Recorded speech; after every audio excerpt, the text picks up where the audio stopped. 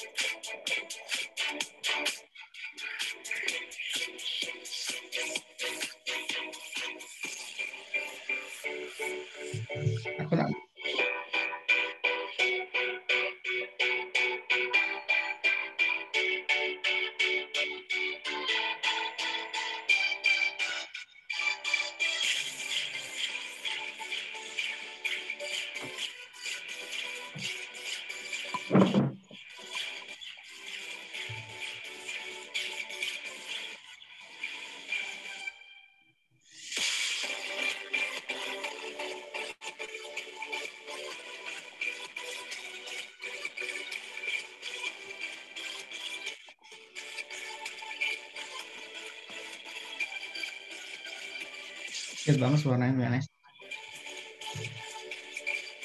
Suaraku jelas nggak?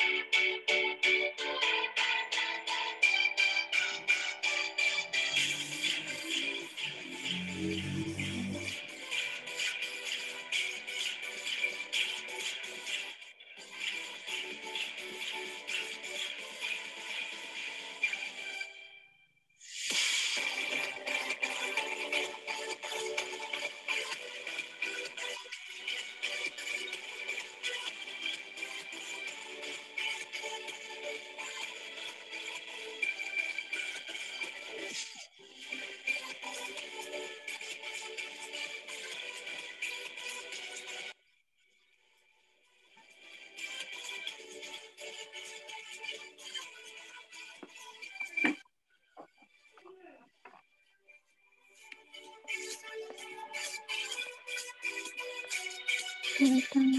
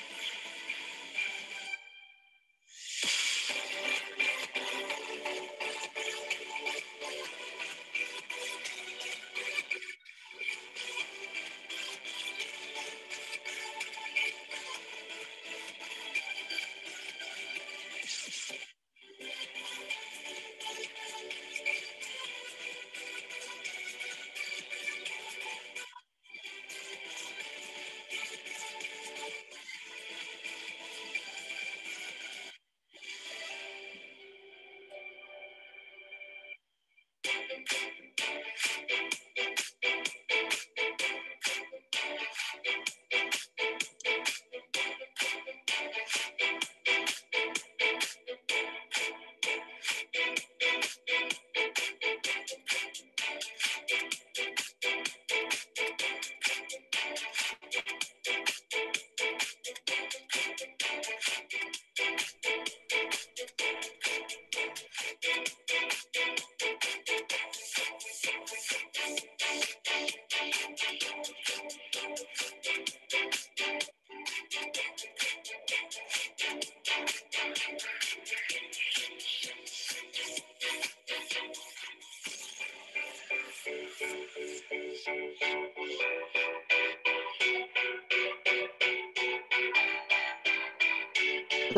Adonai.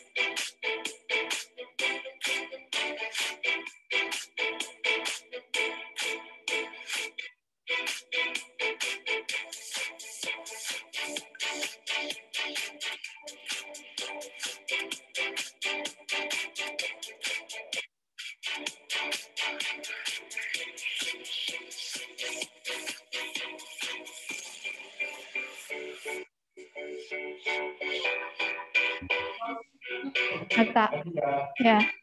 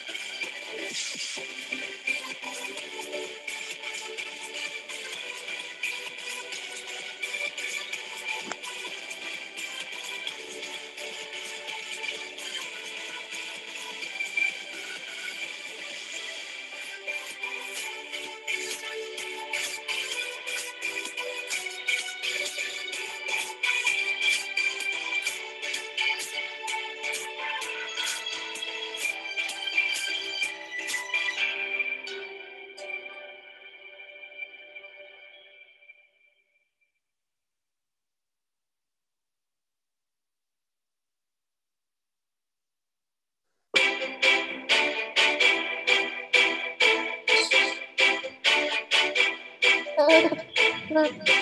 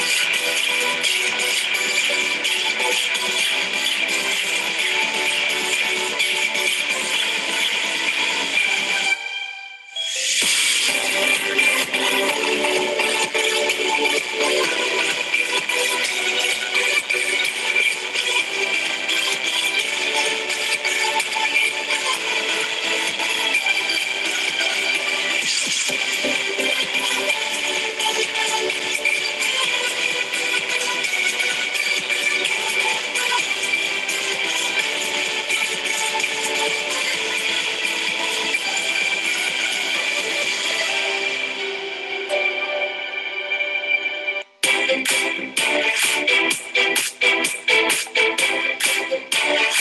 you.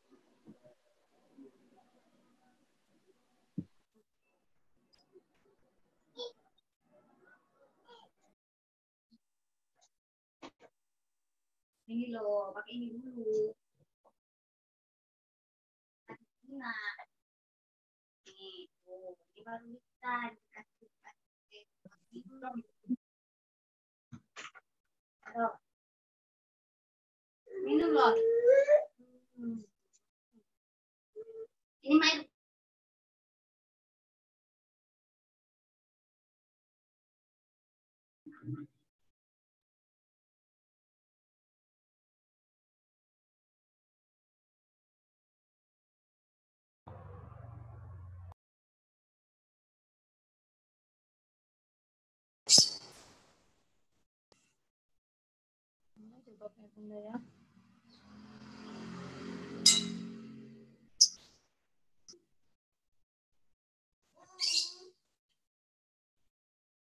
ada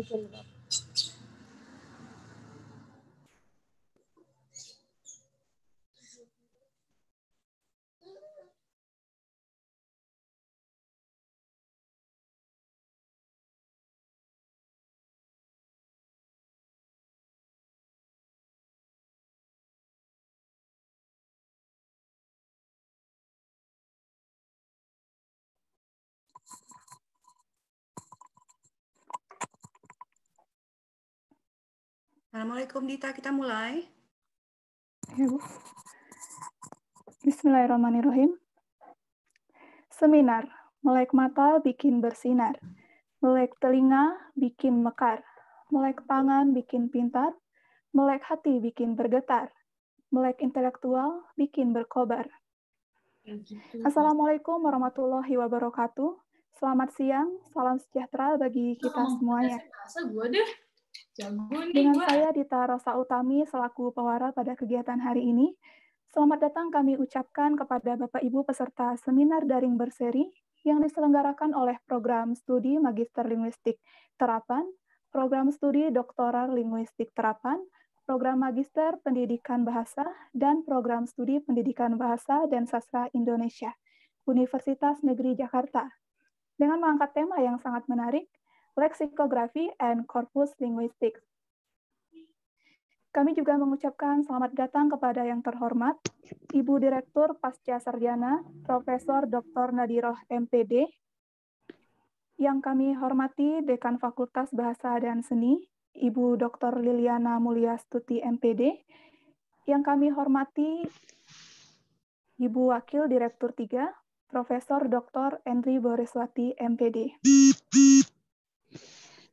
Tidak luput kami ucapkan terima kasih kepada Bapak Ibu Korprodi Pasca Sarjana S2 dan S3 Ibu Korprodi Pendidikan Bahasa dan Sastra Indonesia, serta Bapak Ibu Guru Besar dan Dosen Pasca Sarjana Universitas Negeri Jakarta. Selanjutnya yang kami hormati narasumber kita pada hari ini, Bapak Toto Suhardianto, PhD. Beliau adalah Ketua Departemen Linguistik Fakultas Ilmu Pengetahuan dan Budaya Universitas Indonesia. Adapun kami ucapkan terima kasih atas turut serta dari Prodi Doktoral Pendidikan Bahasa, Prodi Magister Pendidikan Bahasa, dan Prodi Pendidikan Bahasa dan Sastra Indonesia yang telah bersama mendukung perjalannya kegiatan kita siang ini. Memasuki acara yang pertama, yaitu pembukaan, marilah kita awali acara pada hari ini dengan bacaan basmalah bersama. Bismillahirrahmanirrahim. Puji syukur marilah selalu kita panjatkan kehadirat Tuhan Yang Maha Esa, karena atas izin beliaulah sehingga pada siang ini kita dapat berkumpul di ruang virtual untuk menghadiri seminar daring dengan tema Lexicography and Corpus Linguistics. Dalam keadaan sehat tanpa ada halangan suatu apa pun. Amin. Ya Rabbal Alamin. Selamat kami ucapkan kepada peserta seminar daring yang terpilih, karena dari 1000 20 peserta yang telah mendaftar, hanya 500 peserta yang berhasil masuk dalam Zoom meeting seminar daring kita hari ini.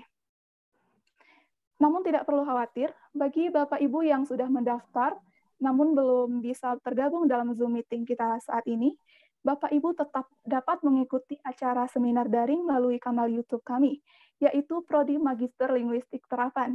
Tautan YouTube kami sudah kami bagikan pada kanal Telegram dan WhatsApp Group Seminar Daring Seri 3 Linguistik Terapan. Baik, sebelum acara dimulai, perkenankan saya membacakan susunan acara seminar daring pada siang hari ini.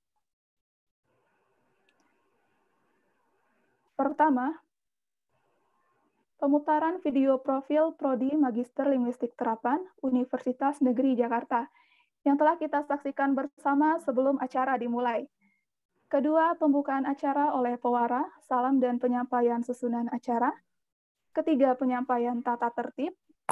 Keempat, penyampaian laporan ketua panitia acara. Kelima, sambutan dan pembuka acara seminar daring dari Direktur Pasca Sarjana Universitas Negeri Jakarta, Ibu Profesor Dr. Nadiroh MPD.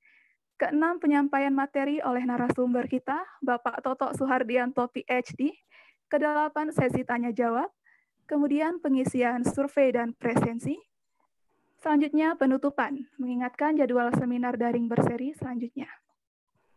Terakhir, sesi foto virtual bersama. Baik, Bapak Ibu yang kami hormati, demi kelancaran dan ketertiban acara kita, berikut saya akan membacakan tata tertib dalam seminar daring seri 3 hari ini. Pertama, akses Zoom dibuka 30 menit sebelum acara dimulai. Acara dimulai tepat pukul 13.00 waktu Indonesia Barat. Oleh karena itu, untuk peserta dari wilayah Indonesia Tengah dan Timur maupun dari luar negeri, dimohon untuk menyesuaikan waktu yang ada. Kedua, ID peserta dalam seminar daring kali ini wajib menggunakan nama asli, bukan nama perangkat ataupun nama institusi. Ketiga, Peserta yang mendapatkan akses masuk Zoom harus berpakaian rapi dan berperilaku sopan saat acara berlangsung. Keempat, diharapkan peserta untuk mematikan suara atau mute audio selama proses acara berlangsung. Kelima, pertanyaan dapat diajukan pada kolom chat Zoom saat acara berlangsung. Kemudian, sertifikat akan dibagikan bagi peserta yang mengikuti acara dari awal hingga akhir Link presensi untuk sertifikat hanya akan aktif selama dua jam setelah dibagikan. Terakhir, peserta yang tidak mengisi Google Form pendaftaran selama acara dimulai dan atau tidak mengisi daftar hadir saat acara selesai tidak akan mendapat sertifikat. Selanjutnya, sangat penting kami himbau Selanjutnya sangat penting kami himbau agar Bapak Ibu yang tergabung di channel Telegram dan WhatsApp grup kami tetap waspada satu sama lain untuk menghindari hal-hal yang tidak pantas dan tidak diharapkan terjadi. Kami sarankan agar Bapak Ibu untuk tidak menerima chat ataupun telepon dari nomor yang tidak dikenal, baik yang bersumber dari sesama peserta dalam channel dan grup kami maupun yang tidak. Baik, acara selanjutnya laporan Ketua Panitia acara oleh Kodprodi Magister Linguistik Terapan Universitas Negeri Jakarta, Ibu Eva Lilianti PhD. Kepada yang terhormat Ibu Eva Lilianti PhD, kami silakan. Ya, terima kasih Mbak Dita selaku pewara atas kesempatannya. Bismillahirrahmanirrahim. Assalamualaikum warahmatullahi wabarakatuh. Selamat siang, salam sehat, salam sejahtera untuk kita semua. Pertama-tama saya selaku Ketua Pelaksana sekaligus Koordinator Prodi Magister Linguistik Terapan atas nama seluruh jajaran panitia, baik itu dosen ataupun mahasiswa, ingin menyampaikan rasa terima kasih kami yang mendalam kepada Ibu Direktur Pasca Sarjana Universitas Negeri Jakarta, Profesor Dr. Nadiro MPD, Ibu Dekan Fakultas Bahasa dan Seni, Ibu Dr. Liliana Mulyastuti MPD, dan Profesor Dr. Henry Buriswati MPD yang telah mendukung rangkaian kegiatan ini dan yang tak henti selalu memotivasi kami untuk terus-menerus menjadi prodi yang lebih baik lagi. Ucapan terima kasih kami juga sampaikan kepada Koordinator Program Doktoral Linguistik Terapan, Ibu Dr. Nino Lustianti MPD, Korprodi Magister program uh, program studi magister pendidikan bahasa Ibu Dr. Miftahul Khairah Anwar MHum, Ibu Korprodi Pendidikan Bahasa dan Sastra Indonesia, Ibu Dr. Siti Ansoria MPD, Bapak Ibu Korprodi di lingkungan pasca sarjana dan FBS UNJ, Bapak Ibu Guru Besar, Bapak Ibu dosen pasca sarjana dan FBS UNJ, serta Bapak Ibu dosen dan mahasiswa Universitas Negeri Jakarta. Tak lupa kami mengucapkan banyak terima kasih kepada Bapak Toto Suhardianto PhD, Ketua Departemen Linguistik Universitas Indonesia, selaku narasumber seminar daring kita yang ketiga. Terima kasih Pak Toto, bersedia nantinya berbagi ilmu dengan kami mengenai leksikografi and corpus linguistics. Bapak Ibu peserta yang berbahagia, izinkan saya memberikan laporan singkat kepada Ibu Direktur Pasca Sarjana bahwa kegiatan rangkaian seminar daring Prodi Magister Linguistik Terapan dilakukan dalam lima seri, mulai bulan Juni hingga Oktober 2020. Seminar daring hari ini merupakan seri ketiga. Bila di seri pertama dan kedua, Prodi Magister Linguistik Terapan bekerja sama dengan organisasi profesi seperti ALTI, Asosiasi Linguistik Terapan Indonesia, dan ALSPI, Asosiasi Linguistik Sistemik Fungsional Indonesia, pada seri ketiga pada seri pada seri ketiga ini kami bekerja sama dengan Fakultas Bahasa dan Seni Universitas Negeri Jakarta khususnya program studi pendidikan bahasa dan sastra Indonesia. Seperti yang telah kami sampaikan sebelumnya, tema yang kami angkat adalah leksikografi, yakni tentang perkamusan, dan korpus linguistik, yakni tentang kajian bahasa yang didasarkan pada koleksi besar penggunaan bahasa yang tersimpan di dalam korpora atau korpus. Misalnya seperti basis data yang telah terkomputerisasi. Data ini biasanya kami gunakan dalam penelitian linguistik.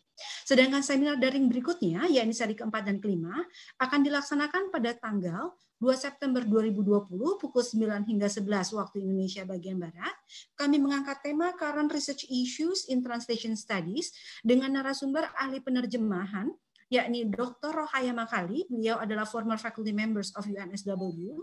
Beliau juga dosen terbang pengajar pasca sarjana Fakultas Ilmu Budaya Universitas Erlangga Surabaya. Sedangkan seri kelima kami akan kami laksanakan pada tanggal 7 Oktober 2020 pukul 10 hingga 12 waktu Indonesia bagian Barat dengan tema Designing Digital Learning Experiences, Gains and Losses. Eh, kami mengundang narasumber Dr. Victor Lim dari National Institute of Education, Nanyang Technological University, Singapore. Kami laporkan secara singkat Ibu Direktur bahwa peserta yang telah mendaftar pada kegiatan seminar dari hingga hari ini mencapai 1.020. Jadi profil. Di antara jumlah tersebut, peserta dari UNJ sebanyak 70 orang, total peserta non-UNJ sebanyak 950 orang. Dari total peserta yang mendaftar, terdapat beberapa peserta luar negeri, seperti dari Mesir, dari Universitas Al-Azhar Kairo, dari Malaysia, dari University Putra Malaysia, dan dari China, dari dari Northeast Normal University.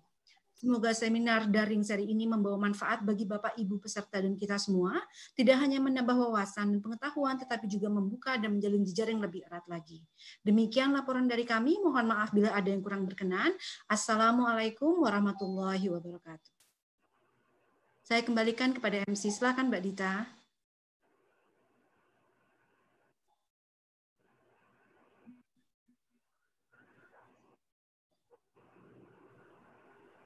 Halo Mbak Dita.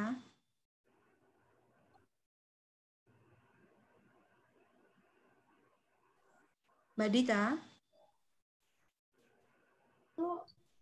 Masih di mute Mbak Ditanya. Mbak Dita. Kita Ya, tolong di langsung di handle aja. Ya, Langsung di handle sama Bu Eva aja. ya, terima kasih Prof. Kalau begitu selanjutnya kami ingin mengundang uh, Profesor uh, Nadiro selaku selaku Ibu Direktur Pasca Sarjana untuk memberikan sambutan dan membuka secara resmi uh, seminar daring kami yang ketiga. Silakan uh, Prof. Baik, terima Bu Dr. Eva. Mohon maaf, baru kali ini saya bisa mendampingi bersama-sama dengan program studi magister linguistik terapan eh, pasca sarjana UNJ. Program studi magister ini alhamdulillah sudah punya kakak ya. Jadi eh, yang program studi eh, pendidikan bahasa belum punya kakak dia. ya, malahan linguistik terapan punya kakak. Eh, selamat ya. Eh, pertama-tama eh, marilah kita panjatkan puji dan syukur ke hadirat Tuhan yang Maha Esa yang telah memberikan nikmat kehidupan buat kita semua. Eh, Alhamdulillah saya tadi dengar ternyata tidak hanya dari Indonesia, tetapi dari Mesir, dari Singapura, dari Malaysia, kalau nggak salah tadi. Alhamdulillah, selamat bergabung dah. Dari China, selamat bersilaturahmi, berkomunikasi lewat virtual eh, eh, eh, seminar daring ya, virtual eh, seminar. Eh, eh, suara saya bisa ya? Jelas Prof, Bisa jelas kedengar. Prof. Ya, eh, dengan tema eh, leksiografi and corpus linguistik. Leksiografi setelah saya baca-baca ternyata ini bagaimana eh, mempelajari cabang dari linguistik tentang teknik penyusunan kamus. Yes. Eh, menarik menarik sekali karena meskipun saya bukan keahliannya di situ, tetapi saya dan mungkin teman-teman yang lain yang hadir menjadi pengguna dari kamus. Nah, marilah gali eh, di sini ada pakarnya, ya. Eh, terima kasih eh, eh, Pak Toto Suhardianto PhD. Terima kasih telah hadir dan berkenan membagi ilmunya kepada kami dan kepada kita semua. Dan yang terhormat Dr. Ansoria, eh, ini eh, partner yang bagus antara UNJ dan UI, mungkin juga nanti dari eh, Singapura, dari mana-mana bisa berpartner di dalam virtual seminar nasional maupun internasional. Kemudian yang kedua, korpus linguistik. Setelah saya baca-baca, ternyata ini adalah metode eh, metode linguistik, metode penelitian linguistik yang menggunakan data-data dari bahan-bahan eh, kebahasaan, mulai dari rancangan, penyusunan sampai evaluasi. Luar biasa. Artinya eh, disiplin ilmu linguistik terapan meskipun bukan keahliannya di sini, tetapi semua menggunakan linguistik itu. Karena linguistik menjadi bagian dari keterampilan abad 21, yaitu eh, literasi bahasa. Menjadi bagian yang sangat penting. Karena apa yang kita pikirkan, apa yang kita rasakan, apa yang kita eh, angan-angankan, cita-citakan harus dikomunikasikan lewat bahasa. Itulah yang disebut dengan literasi eh, bahasa. Di situ ada kesantunan, ada kecerdasan, dan literasi bahasa substansinya akan beririsan dengan disiplin-disiplin ilmu lain. Mungkin itu saja yang bisa saya sampaikan. Mohon maaf saya nanti tidak bisa gabung sampai selesai. Karena di jam yang sama kami juga mengikuti seminar nasional terkait dengan ideologi Pancasila. Ya hmm. uh, uh, marilah bersama-sama dengan membaca basmalah bagi yang beragama Islam dan bagi yang beragama lain menyesuaikan. Kita buka seminar daring ketiga program Magister Linguistik Terapan Pasca Sarjana UNJ dengan tema Leksiografi and Corpus Linguistik dibuka. Bismillahirrahmanirrahim. Terima kasih. Mohon maaf. Assalamualaikum warahmatullahi wabarakatuh. Terima kasih. Waalaikumsalam warahmatullahi wabarakatuh. Terima kasih banyak Prof. Nadiroh atas terima kasih, Prof. Oh, terima kasih banyak Bu, Bu Lili sudah hadir. Terima kasih Bu Lili. Sudah sejak tadi yang terhormat tadi nggak disebut. Oh ya Allah. Mohon maaf tidak terima kasih banyak. Terima kasih Bu menjadi ya, menjadi tidak apa pentahelik ya. Yang mewakili, silakan. Ya, ya. Matur suwun. Ya, sami-sami. Terima kasih. Silakan Mbak Dita, saya kembalikan pada MC. Mbak Dita. Baik, baik. Terima kasih kepada Ibu Profesor Dr. Nadiroh MPD atas sambutannya. Bapak Ibu mohon maaf atas kesalahan teknis yang terjadi tadi. Hadirin yang berbahagia, memasuki acara inti, yaitu penyampaian materi oleh narasumber kita, Bapak Toto Suhardianto, PhD. Acara akan dipandu langsung oleh Koordinator Program Studi Pendidikan Bahasa dan Sastra Indonesia dan dosen pasca sarjana Universitas Negeri Jakarta, Ibu Dr. Siti Ansoriah MPD selaku moderator pada seminar daring hari ini selama 90 menit ke depan. Selanjutnya acara akan kami serahkan kepada Ibu moderator, kepada Ibu Dr. Siti Ansoriah MPD, kami silakan. Ya, uh, terima kasih uh, Pewara, Mbak Dita. Bismillahirrahmanirrahim. Assalamualaikum warahmatullahi wabarakatuh. Makasih sambil baca surat kabar Selamat siang dan apa kabar Bapak Ibu peserta seminar daring. Alhamdulillah telah hadir bersama kita narasumber Bapak Toto Suharjanto PSD. Uh, eh, sebelumnya saya mau menyapa dulu. Uh, kabarnya bagaimana Pak? Pak Toto? Alhamdulillah Bu, baik. Uh, terima kasih uh, baik. undangannya. Sebelum dimulai acara ini, saya akan membacakan biodata narasumber. Eh, Bapak Toto Suhardianto, uh, beliau menempuh uh, pendidikan sarjana sastra yang pertama ya Pak ya, sarjana sastra jurusan sastra Indonesia, Fakultas Sastra Indonesia tahun 1993, Magister Linguistik Program Pasca Sarjana Universitas Indonesia tahun 2000, kemudian PSD in Cyber Informasi Graduate School of Media and Government, Keio University tahun 2012. Pekerjaan dan jabatan beliau saat ini dosen senior pada Departemen Linguistik Fakultas Ilmu Pengetahuan Budaya UI, Ketua Departemen Linguistik Fakultas Ilmu Pengetahuan Budaya UI, pakar linguistik pada PT Prosa Cerdas Cendikia, perusahaan perintis kecerdasan buatan di Bandung. Kemudian pakar linguistik Indonesia dan Jawa pada Upton Butler Hill, perusahaan penyedia data berbasis di Amerika. Organisasi eh, beliau sebagai wakil ketua afiliasi pengajar dan pengiat BIPA. Ketua Indonesia Association for Computational Linguistics. Ketua Persaudaraan Pekamus Indonesia. Wah, pengalaman uh, bekerja Pak Toto uh, lumayan banyak Uh, beliau profesor tamu pada Fakulty of Policy Management Keio University Sonan Fujisawa Campus. Kemudian pengajar tamu pada Fakulty of Foreign Tokyo University Foreign Studies pengajar tamu pada Faculty of Bioscience Nihon University, Project Manager Team Google Asia Pasifik.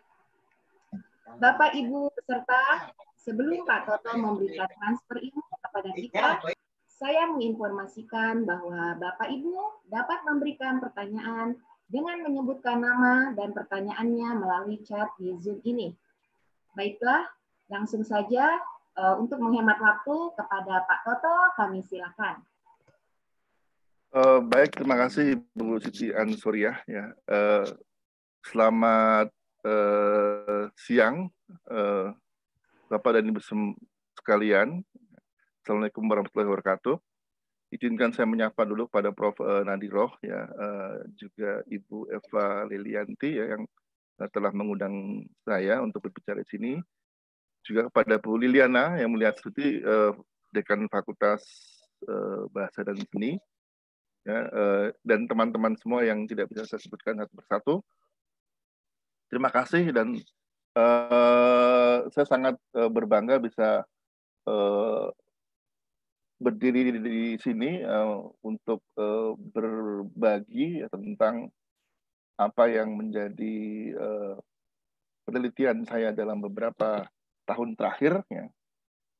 Mungkin ini pertama kalinya saya me memberikan apa ya uh, presentasi di depan cukup banyak orang ya, lebih dari 300 ya. Nah, mudah-mudahan eh, apa apa suara saya dan tayangan yang saya berikan bisa diterima dengan baik oleh Bapak dan Ibu semua. Ya. Saya akan me, apa namanya menjaga uh, tempo suara saya karena saya takut kadang-kadang jaringan tidak terlalu apa uh, stabil. Oke, okay. uh, baik. Uh, tadi uh, Ibu Siti Ansurya sudah menyebutkan uh, apa memperkenalkan saya ya saya dari uh, Departemen Linguistik ya uh, Fakultas Ilmu Pengetahuan Budaya Indonesia dan uh, di UNJ saya pun juga mengajar ya S3 di uh, apa uh, S3 di UNJ tapi bukan linguistik korpus ya. Karena mungkin belum ada uh, mata kuliah itu jadi uh, saya mengajar mata kuliah yang lain. Nah, uh, pada hari ini saya diminta untuk berbicara mengenai uh, leksikografi dan uh, korpus linguistik atau linguistik korpus ya. Ini uh, boleh dikatakan dua bidang yang uh, apa ya menjadi uh, concern atau perhatian saya ya. Dan kebetulan juga saya menjadi organisasi di eh, maksud saya terlibat dalam organisasi yang dua-duanya itu eh, apa bergerak di bidang yang satu di bidang korpus linguistik yang satu di bidang eh, baik. Uh, saya akan mencoba untuk uh, share screen ya.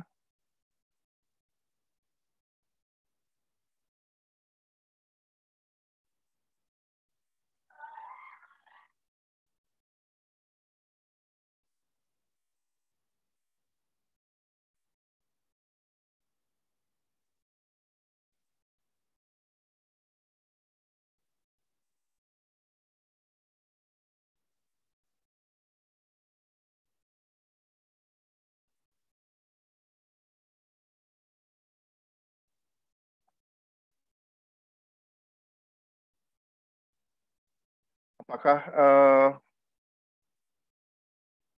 screen saya terlihat ya?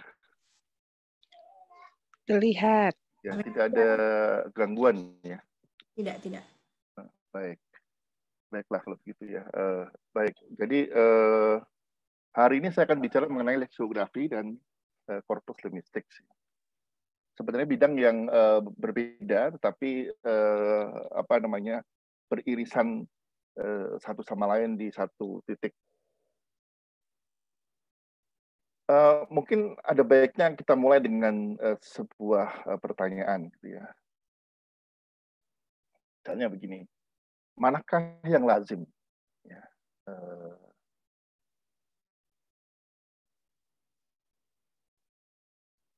apakah ya, karena sering kali misalnya kita lihat spanduk yang menjelang uh, Ramadan gitu ya itu ada di dalam spanduk itu tertulis teks selamat menjalankan ibadah puasa pada bulan Ramadan atau selamat menjalani ibadah puasa pada bulan Ramadan.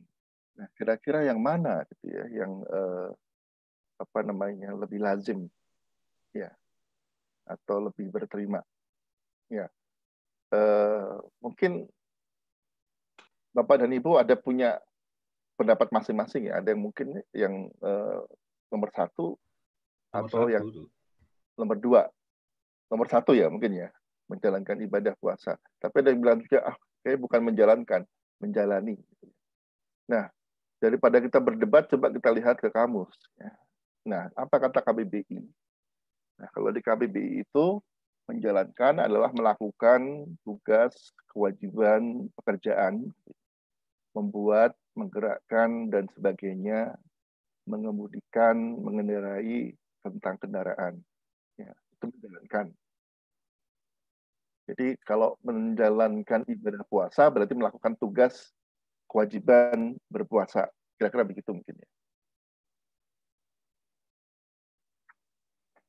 Nah, eh, sementara eh, kalau menjalani itu eh, menempuh jalan dan sebagainya, gitu ya. Mana sih yang bunyi? Melakukan atau mengalami hukuman dan sebagainya, atau melalui masa, waktu, keadaan dan sebagainya. Nah, eh, kalau lihat dari KBB ini kelihatannya sih eh, menjalankan ya yang eh, lebih cenderung ke sana. Tapi apakah uh, betul seperti itu ya mungkin ada baiknya kita tengok ke dalam korpus ya tadi uh, Ibu Eva sudah menjelaskan ya sedikit bahwa korpus itu apa ya korpus itu adalah uh, koleksi teks yang uh, dikumpulkan untuk merepresentasikan uh, penggunaan bahasa pada satu bahasa tertentu gitu. Jadi jumlahnya itu sangat besar. Ya ukuran korpusnya sangat besar. Nah, ini saya ambil dari korpus Indonesian WAC ya. Uh, korpus Indonesian WAC ini jumlahnya 94,5 juta kata. Ya. Jadi sangat besar. Nah, dari situ kita lihat bahwa kata menjalankan ya. Di sini ada menjalankan tugas, menjalankan bisnis, menjalankan sunnah ini, menjalankan ibadah, di sini ada ya menjalankan bisnis segala macam. Nah dari sini uh, mungkin kita uh, mulai apa namanya sedikit yakin ya, bahwa menjalankan itu seperti kata KBBI tadi mungkin lebih pas ya untuk menjalankan ibadah. Gitu. Tapi kalau menjalani bagaimana? Ternyata kalau menjalani itu uh, kalau kita lihat di sini menjalani layaknya hubungan suami istri, menjalani cara hidup yang baru, menjalani terapi, menjalani proses agama, proses imigrasi dan seterusnya ya. Nah, kalau kita lihat-lihat menjalani di sini mungkin tidak pas kalau dengan ibadah barangkali ya. Jadi menjalankan yang benar atau justru menjalani yang benar ya. Kalaupun yang benar apakah itu valid? Ya, mungkin kalau kita lihat dalam uh, apa namanya korpus tadi kelihatannya memang menjalankan yang lebih uh, apa ya uh, tepat ya atau lebih pas dari korpus itu ya. Oke. Okay. Nah, uh, jadi apa namanya bicara mengenai uh, apa namanya makna ya bicara mengenai arti dari sebuah kata itu uh, kita jadi teringat pada uh, apa namanya apa yang disampaikan oleh Wittgenstein ya, dalam karyanya yang eh, berjudul Philosophical Investigation. Dia mengatakan bahwa the meaning of a word is its use in the language. Jadi makna sebuah kata itu uh, terletak pada penggunaan uh, bahasanya. Jadi kalau mau menentukan uh, makna sebuah kata, mungkin ya lihat ini pemakaian yang ada di sini. Nah, coba kalau kita lihat sekarang ya, kata menjalani di sini. Kalau kata kita lihat kita menjalani di sini kan eh, ya menjalani cara hidup, menjalani layaknya hubungan sama istri, menjalani hidup seharian, menjalani masa klimaterium, menjalani pengobatan. Nah, itu apakah semuanya terwakili di dalam ketiga makna eh, KBBI ini?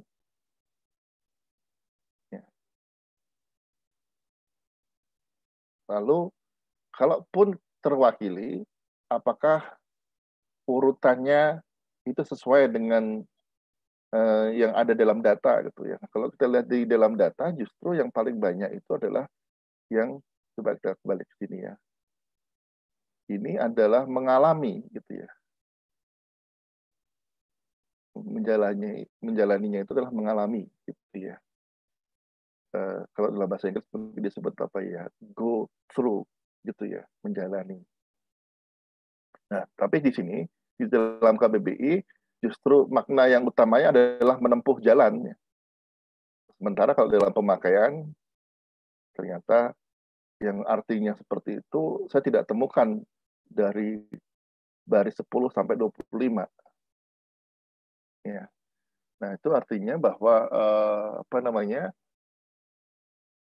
Kamus pun ya, juga eh, apa namanya tidak bisa memberikan informasi yang utuh ya tentang pemakaian bahasa itu gitu ya.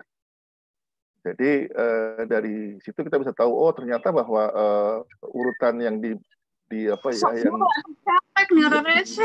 buat oleh eh, KBB ini urutan uh, makna yang disusun oleh KBB ini kurang tepat gitu ya karena makna yang paling banyak justru yang nomor dua dibandingkan yang pertama. Oke. Nah uh, kembali ke sini ya. Jadi uh, apa pada umumnya para uh, ahli linguistik uh, korpus itu memang me, apa ya me, boleh dikatakanlah menjunjung tinggi prinsip the meaning of a word is it used in the language gitu ya. Jadi uh, makna itu terletak pada penggunaan bahasanya. Nah, uh, terkait dengan uh, cara mempelajari bahasa, ya, kalau kita lihat dalam uh, apa ya satu abad terakhir ini misalnya ya, itu ada dua cara mempelajari bahasa ya. Yang pertama introspeksi, dan yang kedua adalah mengobservasi. Ya. Nah, eh, introspeksi ini eh, adalah cara mempelajari bahasa yang apa namanya populer ya eh, pada tahun 60-an gitu ya ketika eh, apa namanya eh, para penyokong teori nativistik ya dan uh, Chomsky gitu ya misalnya mereka uh, apa namanya menguasai uh, wacana uh, di dalam dunia atau penelitian linguistik. Nah, uh, sementara itu uh, cara mempelajari bahasa dengan teknik mengobservasi sebenarnya jauh sebelum uh, tahun 60-an itu sudah pernah dilakukan gitu ya ya misalnya seperti uh, dilakukan oleh Naida gitu ya. Oleh uh, apa namanya hmm, Levi Strauss gitu ya. Malinowski dan segala macam. Ini orang-orang yang uh, apa namanya uh, bekerja dengan melakukan uh, teknik uh, atau metode penelitian yang bersifat etnografis jadi mengamati, mencatat, dan mencoba untuk menganalisis.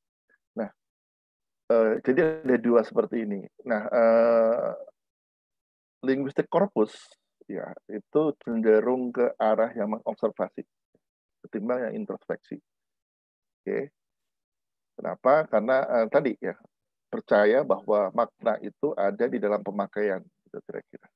Atau makna itu sangat bergantung dari uh, pemakaian. Nah, karena terkait dengan observasi itulah ya uh, coba kita lihat uh, kajian etnografi tempo dulu. Jadi kalau tempo dulu itu uh, seperti yang dilakukan oleh uh, Sir James uh, Murray ya uh, dan karyanya yang uh, fenomenal ya Oxford English Dictionary itu dia melakukan dengan uh, begitu banyak dokumen gitu ya dan begitu banyak sumber daya manusia di, di foto ini memang tidak ada staffnya yang lain tapi uh, di foto-foto yang lain uh, mungkin kelihatan nah uh, jadi menunjukkan bahwa uh, tetap melakukan observasi ya mencoba untuk mengkaji uh, peristiwa-peristiwa kebahasaan yang dicatat. Ya. Kemudian hasil catatan tersebut dikaji lagi untuk diputuskan apakah masuk ke dalam kamus atau tidak, gitu ya. Nah, cara membuat kamus dengan mengobservasi ini, gitu ya, itu eh, apa dilakukan bahkan sebelum ada era korpus ya. Dan eh, OED gitu ya, eh, Kamus Oxford ya itu yang eh, merintis ya eh, apa namanya eh, pengumpulan data dalam jumlah yang masif ya. Kemudian dilihat dikaji untuk melihat uh, penggunaannya, untuk melihat makna dalam penggunaannya, ya lalu menyusunnya dalam bentuk uh, apa namanya kamus, ya. Jadi mereka mau melakukan mem, apa namanya pembacaan teks sumber, mengutip, ya, dan disimpan dalam kartografi, ya kartografi yang seperti yang berwarna kuning yang uh, saya perlihatkan ini ya Kemudian eh, pekamus itu ya, eh, memeriksa dan mengkaji kutipan tersebut. Ya, eh, jika mereka kemudian memutuskan untuk dimuat, itu dibuat. Kalau tidak, ya akan dibuang. Ya. Nah, uh, pada era sekarang bagaimana gitu ya kajian uh, berbasis korpus? Jadi uh, kajian leksikografi ber, ber, berbasis korpus yang sekarang ini uh, sudah menggunakan uh, data bahasa, ya sudah menggunakan teks uh, yang diambil dari uh, peristiwa atau apa ya uh, kegiatan berbahasa gitu ya, baik uh, tertulis, ya utamanya tertulis maupun yang lisan. Nah, Korpus leksikografi pertama ya, itu uh, disebut dengan uh, COBOL ya, di dunia ya itu uh, adalah Collins Birmingham University International Language Database 1981 diinisiasi oleh uh, John Sinclair. Nah, uh, cara memeriksanya adalah dalam bentuk konkordansi. Nah, konkordansi seperti yang tampil di uh, layar itu jadi kata yang di apa ya yang dicari yang dijadikan sebagai fokus diletakkan di tengah kemudian kanan kirinya itu menjadi konteks untuk membedakan uh, bagaimana pemakaiannya. Seperti contoh waktu tadi uh, kita mencari uh, perbedaan penggunaan kata menjalani dan menjalankan. Sumber data mata ambil dari kemudian ya, baik. Nah, uh, ukuran korpus leksikografis ya dari tahun 1960-an sampai sekarang itu uh, apa namanya meningkat secara eksponensial. Jadi uh, pada tahun 60-an itu uh, ada uh, korpus elektronik pertama yang namanya korpus Brown. Itu jumlahnya satu juta kata. Ya. Lalu COBOL pada tahun 1980 itu menjadi eh, 8 juta. Kemudian BNC, BNC untuk yang pernah menggali yang dan BNC gali itu kan British National Corpus ya.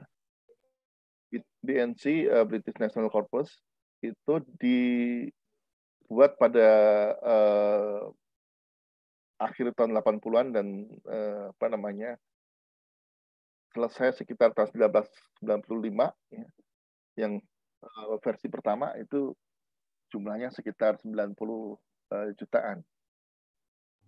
Ya. Nah, yang sekarang uh, ada juga yang namanya OEC gitu ya. Uh, yang buat uh, oleh Oxford itu jumlahnya sudah bukan lagi uh, jutaan ya. Bukan lagi million tapi sudah billion atau miliar kata gitu ya jumlah yang sangat besar. Nah sekarang untuk membandingkan, me, apa ya, membayangkan ya, eh, bapak dan ibu ya eh, sekian juta kata itu seberapa besar sih gitu ya. Nah kalau misalnya eh, bapak dan ibu pernah eh, lihat misalnya novel Laskar Pelangi gitu ya, satu buku gitu ya, itu eh, jumlahnya kira-kira 38 sampai 40 eh, ribu kata gitu ya. Jadi kalau kita mau membuat uh, korpus Brown ya yang dibuat tahun 60 satu juta kata, berarti uh, kita harus mengumpulkan uh, sekitar uh, 20 ya uh, novel. Uh, apa namanya kira-kira ya 20 novel dari uh, Laskar Pelangi itu.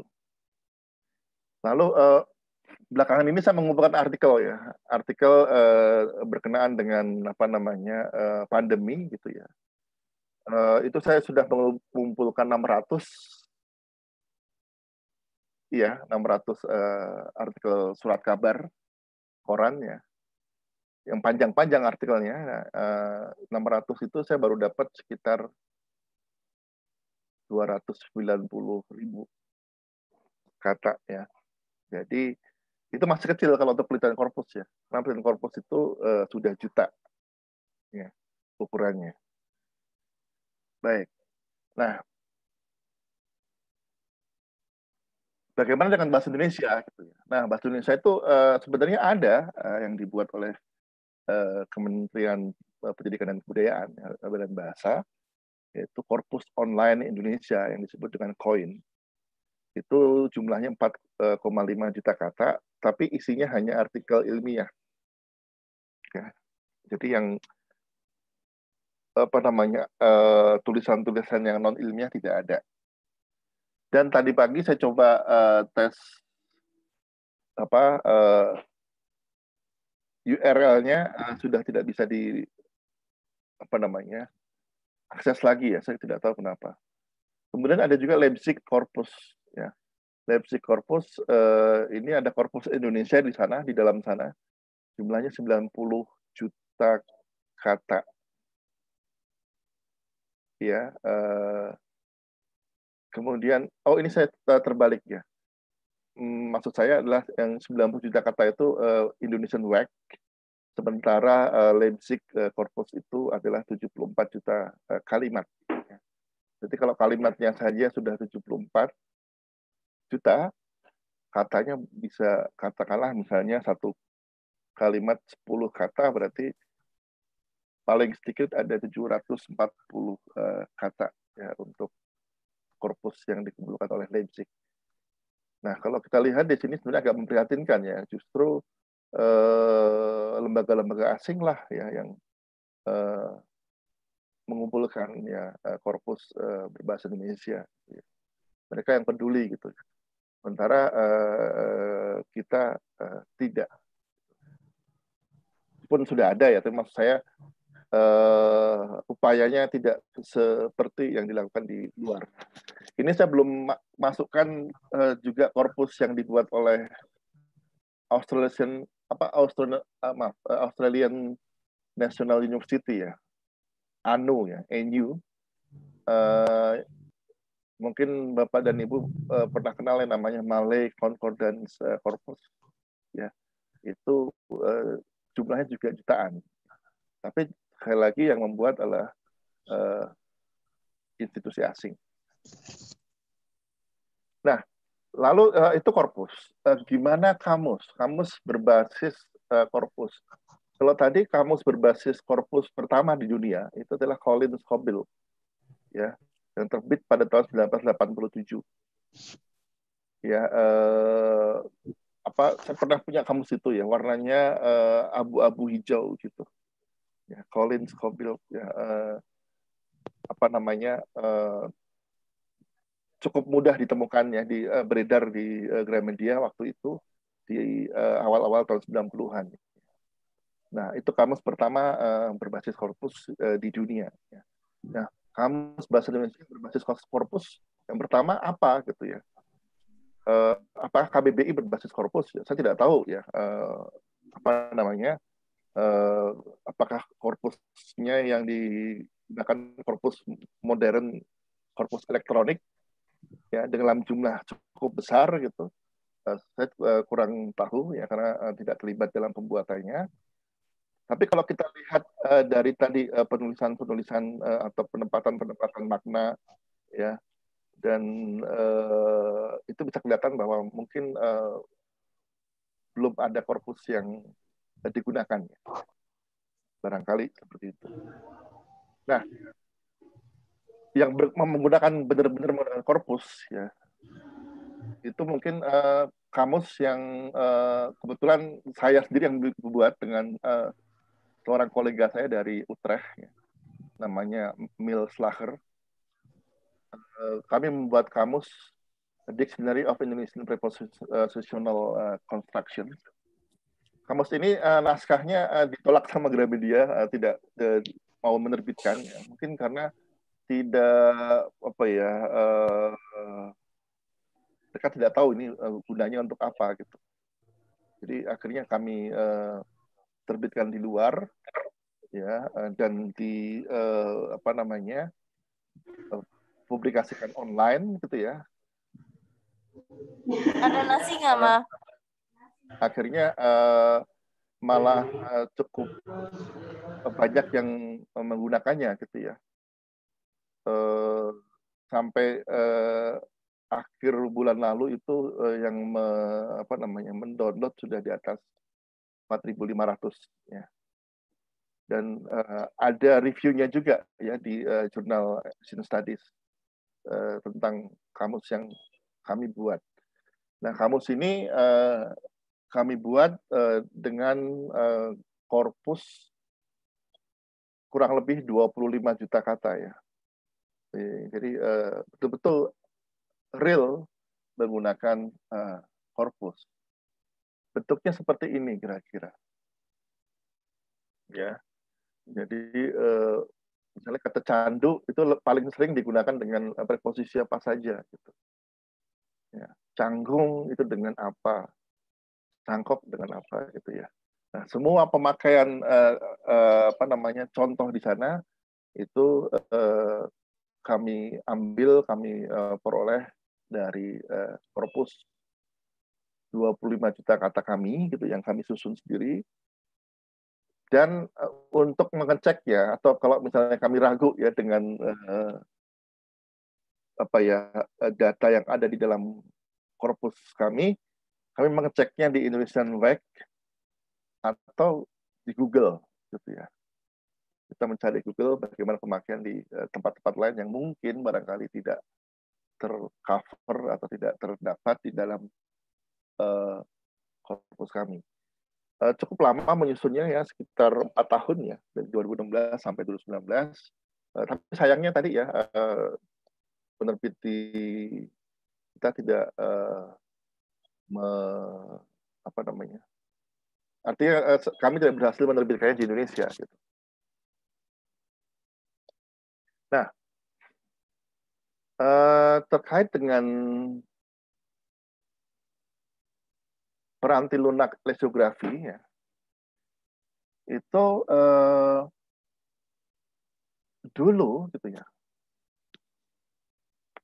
membuat kamus yaitu menggunakan konkordansi yang primitif gitu ya. Jadi semuanya dicetak, tidak dapat disusun ulang, hasilnya berlainan untuk kata dengan uh, dasar uh, yang sama misalnya go ya goes dan uh, when ya, itu uh, tidak apa namanya bisa dianggap sebagai kata yang sama ya. tapi dikelompokkan sebagai kata yang berbeda kemudian uh, juga tidak dapat membedakan pemakaian uh, noun dan verb gitu jadi dulu uh, modelnya seperti itu jadi kalaupun bisa dibeda, membedakan atau bisa eh, apa namanya menyatukan eh, itu yang melakukan adalah manual ya. si leksikografer atau pekamusnya sendiri. Kalau sekarang hmm, peranti lunaknya sudah eh, canggih, ya, sudah lunak. Eh, maksud saya sudah cepat, ya, peranti lunak sudah cepat, eh, digdaya ya, powerful maksudnya ya terus uh, fleksibel ya. Data sama itu dapat dilihat dengan berbagai uh, cara atau perspektif yang berbeda. Datanya satu, tapi bisa dilihat berbagai dengan berbagai sudut pandang. Kemudian ada fitur macam-macam ya, seperti concordance, ya collocation, word sketch, dan seterusnya. Nanti uh, saya akan tunjukkan itu benda apa gitu ya. Nah, bagaimana pekerjaan leksikografi itu berlangsung? Ya, uh, kalau menilik uh, apa yang dikatakan oleh Atkins dan Randall ya, dalam bukunya, uh, itu uh, ada dua tahap penting ya dalam pekerjaan leksikografi. Yang pertama adalah analisis, yang kedua adalah sintesis. Nah, analisis ini adalah menganalisis data korpus, menganalisis fakta-fakta terkait eh, leksikografis, gitu ya, dan membangun pangkalan data. Nah, itu semuanya ada ada pada tahapan analisis.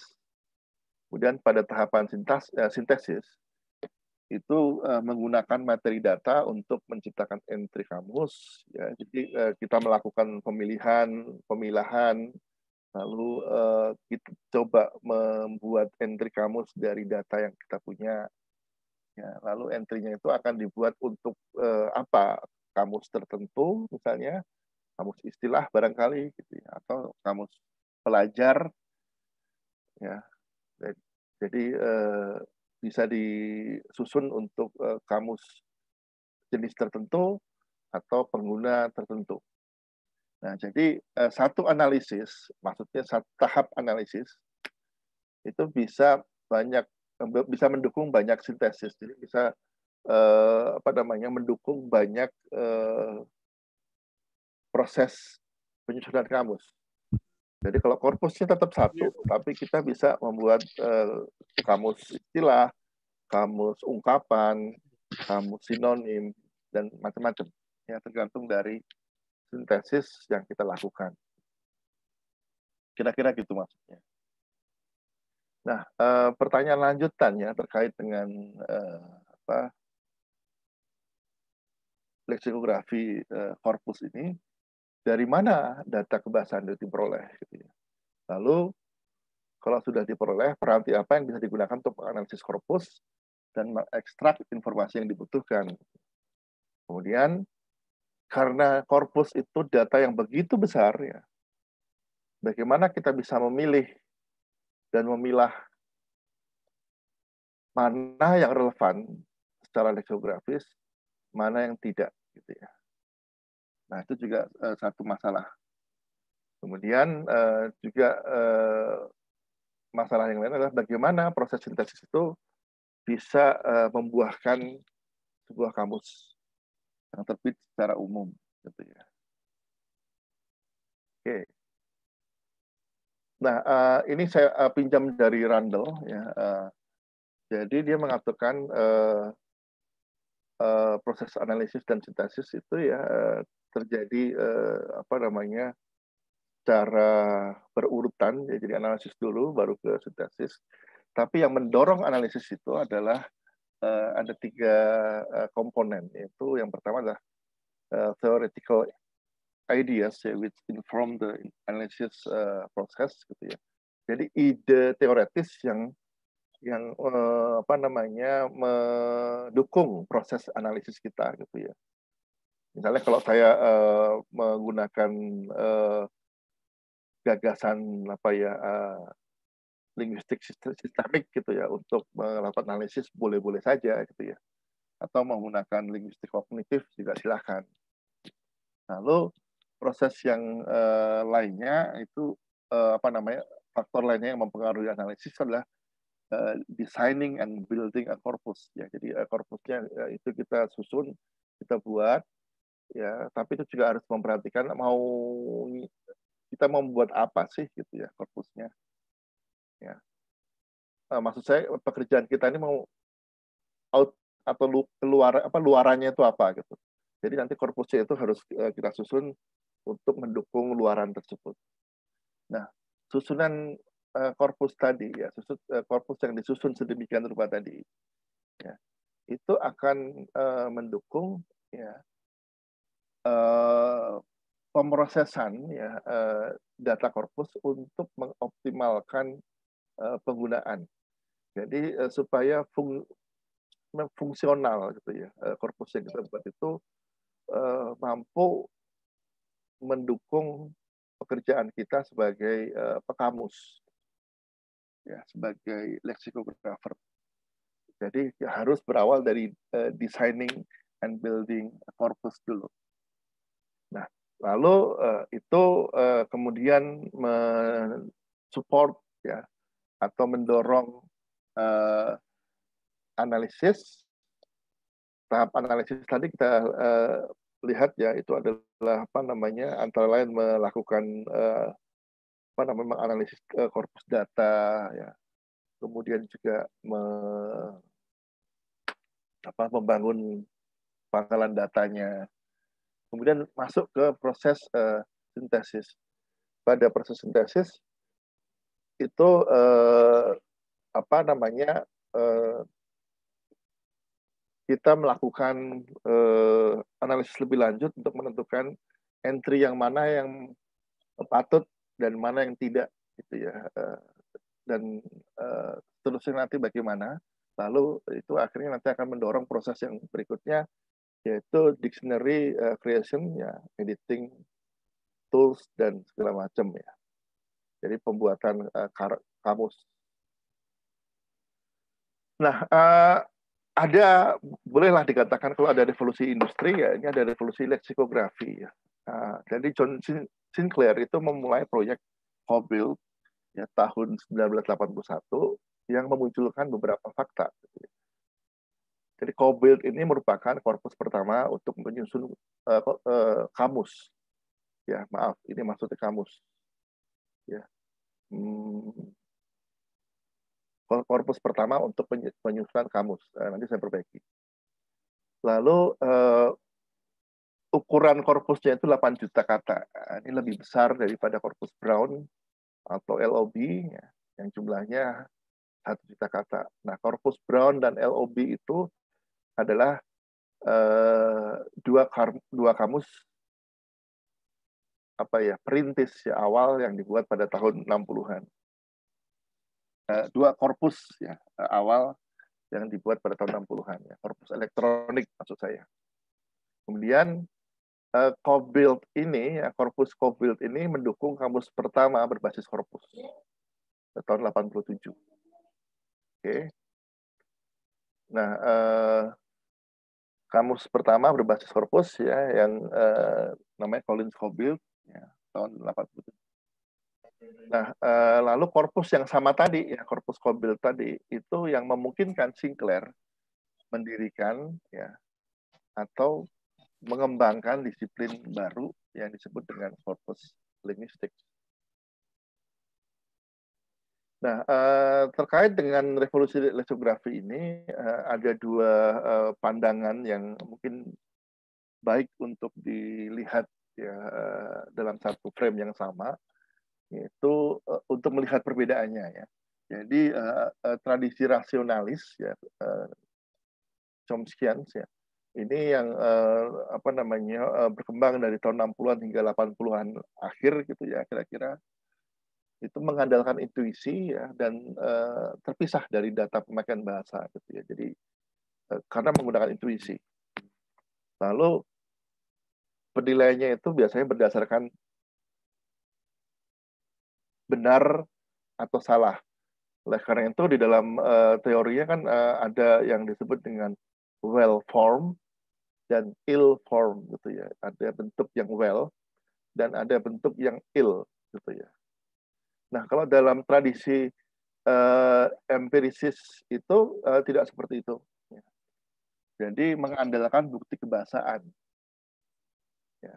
Jadi harus ada linguistic evidence-nya. Bagaimana orang menggunakan kata ketika berkomunikasi satu sama lain. Itulah yang dilihat. Gitu ya. Dan penilaiannya bukan pada benar salah, tapi lebih kepada kecenderungan daripada kaidah gitu ya. Jadi eh, cenderung itu jadi kata kunci. Jadi eh, masalahnya bukan ini salah gitu ya, tapi ini wajar atau tidak. Dan eh, tradisi empirisis ini juga eh, mengakui bahwa norma masyarakat itu berubah sesuai waktu. Ya, begitu juga bahasa. Ya, sehingga kita bisa mengamati dengan baik ya menggunakan korpus bagaimana perubahan bahasa, ya perubahan pemakaian.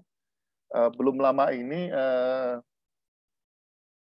sekitar uh, minggu lalu ya itu kami menguji uh, dedek, apa namanya uh, disertasi doktor ya di UI uh, tentang uh, leksikografi ya dan menggunakan uh, korpus ya dan korpusnya adalah korpus uh, diakronis gitu ya. Jadi dia menggunakan tiga korpus yang berbeda nah tiga korpus yang berbeda ini uh, periodenya berbeda-beda ya jadi kalau uh, yang pertama itu uh, korpus MCP ya tadi yang saya sebut tadi ya Malhay Concordance Project Corpus ya, yang dibuat oleh ANU ya itu dari abad eh, 13 sampai tahun 1931 kalau nggak salah.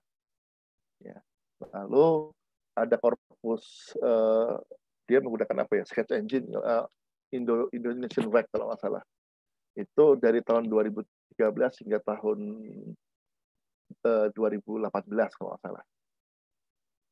Jadi uh, belakangan ini. Lalu uh, si uh, apa namanya sekarang sudah lulus jadi uh, doktor ya. Si dokter itu membuat kamus membuat korpus sendiri ya untuk mengisi jeda ya, dari tahun 30 sampai 2013. Jadi dia buat eh, korpus sekian juta kata. Dan akhirnya korpusnya nyambung ya dari tahun uh, dari abad 13 sampai 2000. Nah, dari situ dia uh, telusuri bagaimana penggunaan kata kekerabatan ya dilihat dari eh, apa namanya data kamus dan dilihat dari data korpus. Nah dari data korpus dia bisa menemukan kapan kata nenek itu muncul. Eh, maaf kakek itu muncul. Karena eh, dahulu itu tidak dibedakan ya antara laki-laki dan perempuan. Semuanya nenek gitu. Ya eh, makanya lagunya nenek moyang gitu ya. Karena kakek moyang tidak ada gitu nah kakek itu baru muncul pada eh, tahun atau abad sekian. Itu kelihatan dari analisis korpusnya. Jadi eh, itu satu hal yang eh, sekarang sangat dimungkinkan. Kalau dulu itu agak sulit ya, karena eh, me, apa ya memanage atau mengelola data yang begitu besar secara manual itu nyaris tidak mungkin. Tapi dengan adanya komputer itu bisa di uh, apa namanya atasi. Oke. Okay. Lalu uh, saya masih melanjutkan lagi revolusi leksiografi. Kamus uh, itu lalu berkembang ya dari uh, kamus yang menggunakan korpus uh, College Coville itu, kamus berkembang dalam bentuk uh, CD-ROM saya pernah punya kamus OED ya Oxford uh, English uh, Dictionary itu dalam bentuk CD-ROM. Ya, uh, saya pernah beli dan uh, dalam bentuk CD-ROM. Jadi kita bisa putar, bisa kita uh, gunakan di dalam uh, apa namanya komputer. Karena kalau kita beli uh, printnya ya yang bentuk cetak itu uh, ada 10 atau 12 jilid gitu ya. Jadi uh, sangat besar. Nah, dalam CD dengan CD-ROM itu kalau tidak salah hanya sekitar 5 ya, 3 atau 5, saya lupa ya, sekitar segitu. Kemudian uh, kamusnya juga uh, apa namanya? dibuat dalam bentuk ranti keras yang portable ya. Juga uh, saya pernah lihat. Ya. Jadi uh, dibuat dalam bentuk uh, apa namanya? Uh, apa bentuk penyimpanan yang kita bisa gunakan ya waktu-waktu. Lalu uh, kemudian uh, korpus uh, maaf kamusnya uh, dari CD-ROM itu menjadi bentuk buku digital. Ya buku digital yang uh, tadinya print lalu kita bisa uh, lihat di dalam dan buka di dalam uh, komputer. Ya tapi itu uh, perubahannya hanya kosmet kosmetik ya. Uh, tidak fundamental gitu. Ya nah perkembangan cepat itu terjadi pada tahun 2000 ya uh, jadi ada peran central web ya jadi uh, web itu menjadi uh, pusat segalanya ya sejak tahun 2008 lalu banyak orang mulai menggunakan telepon genggam ya sehingga uh, apa namanya kamus-kamus yang cetak itu menjadi kekurangan uh, peminat. Jadi wajar saja tadi kamus yang saya buat dengan rekan dari eh, Belanda itu uh, tidak tidak apa ya uh, dianggap tidak ada pasarnya gitu ya di Indonesia. Jadi uh, penerbit di Indonesia tidak me, mau menerbitkannya. Nah, uh, juga terjadi perubahan besar dalam cara informasi leksikal ya itu dihasilkan dipublikasikan dan dianalisis nah ini uh, karena munculnya sketch engine ya uh, salah satu alat korpus yang cukup uh, powerful ya dikdaya dan uh, takhir lalu adanya Google Translate juga kemudian juga muncul paradigma baru dan uh, sampai sekarang masih terus berkembang ya.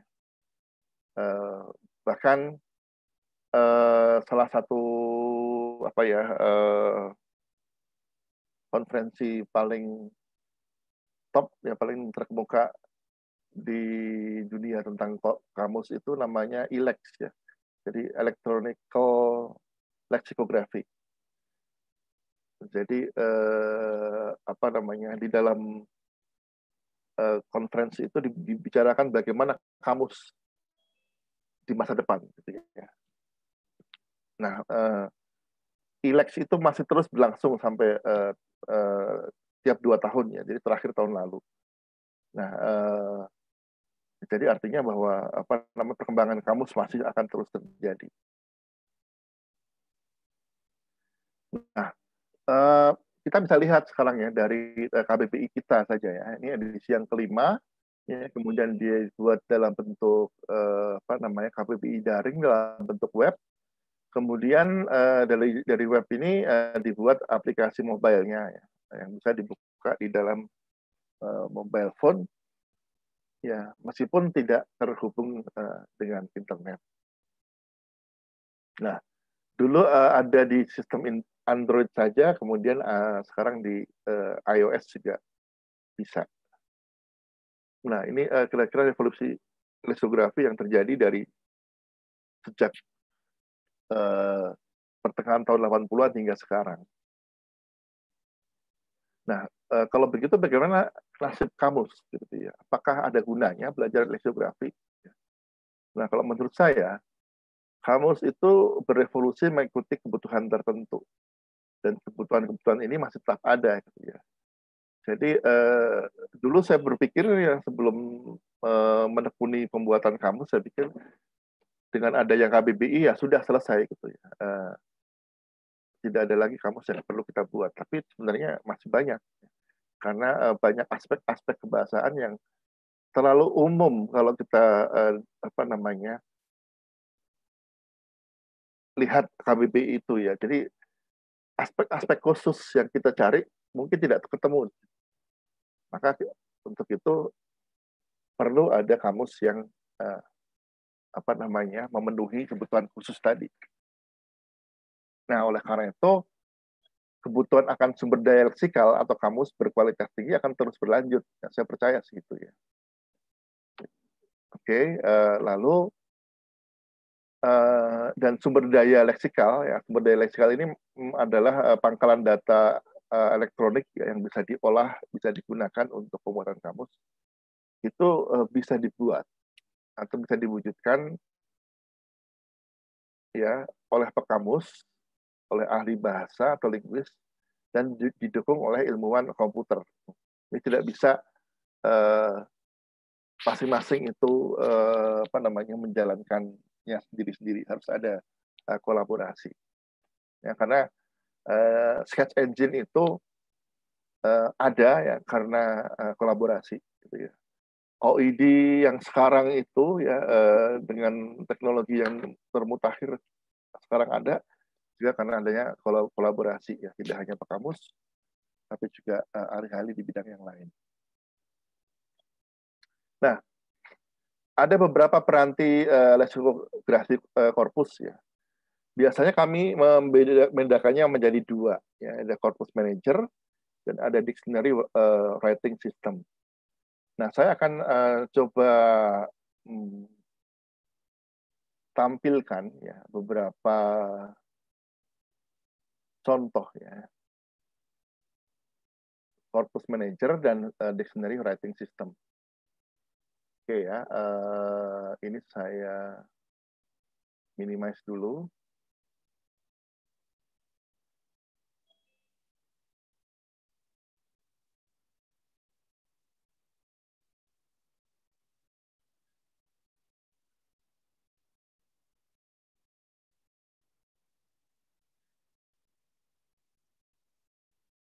Oke. Ini adalah halaman apa namanya?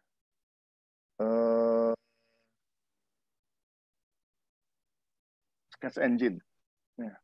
Sketch Engine adalah uh, corpus tools atau corpus manager yang uh, berbasis web. Ya. Jadi dia ada di dalam web. Ya.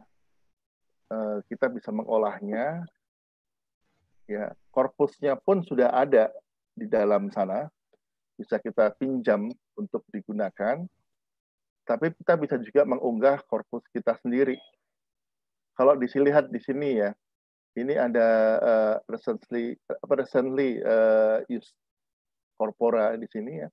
Ini adalah uh, daftar dari korpus-korpus yang uh, saya gunakan. Ya. Uh, beberapa yang uh, Japanese, kemudian Kompas, uh, COVID-19, uh, sorry, uh, terpadu segala macam ini adalah korpus-korpus yang saya unggah sendiri. Ya, saya unggah sendiri. Kalau yang lainnya itu saya ambil dari web ini. Nah, Corpus Tools itu ada yang berbasis web seperti ini, ada yang uh, tidak ya uh, softwarenya itu portable bisa kita simpan dalam USB USB ya flash disk. Kemudian kita uh, copy kita taruh di dalam satu folder di komputer kita ya. Atau dijalankan langsung di USB flash disk itu pun bisa ya. Misalnya ini Ancon ya. Ini adalah uh, ya ini adalah tools ya Ancon yang mungkin beberapa sudah pernah lihat. Nah di sini tidak ada korpus, korpusnya harus kita buat atau kita unggah sendiri. Ini membedakan dengan uh, Sketch Engine. Jadi saya harus memasukkan sendiri ya korpus saya. Misalnya sebagai contoh, uh, saya pakai ini deh.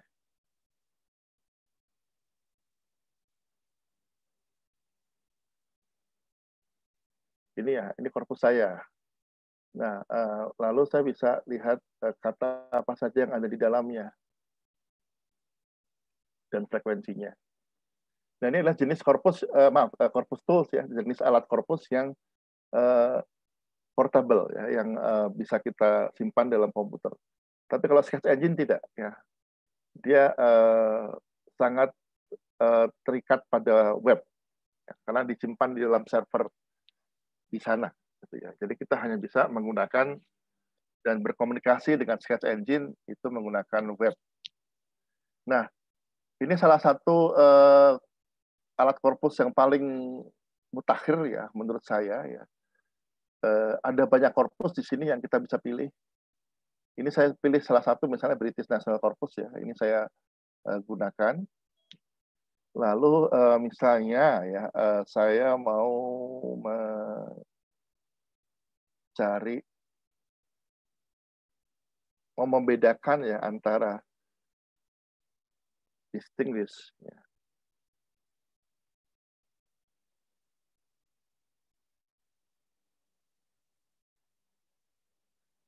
seperti ini ya jadi uh, kalau kita lihat tadi saya memasukkan hanya distinguish ya tapi uh, bentuk yang muncul itu bisa macam-macam ya uh, apa namanya uh, sufiksnya itu bisa bermacam-macam ya bergantung dari uh, apa namanya tensisnya atau aspek gramatikal lainnya gitu ya. Nah, uh, jadi kita tinggal memilih saja ya atau melihatnya gitu. Kita bisa uh, apa namanya beralih ke halaman berikutnya karena di sini uh, terlihat ya bahwa korpusnya itu uh, 3,21 maaf maaf jadi di dalam korpus ini ya terdapat uh, kata distinguish itu 4.293 kata ya. Nah, lalu penggunanya seperti apa? Ini seperti ini. Jadi kalau saya terus sampai selesai maka ini uh, 4.293 jumlahnya. Nah, ini hanya beberapa contoh yang saya ambil. Lalu misalnya ya, saya mau membedakan dengan uh, different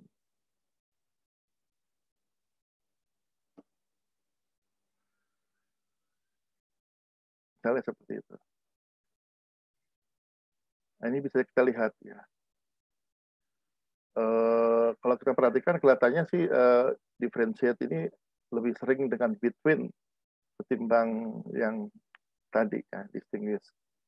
Kemudian kita lihat uh, bagaimana uh, perbedaan di antara keduanya.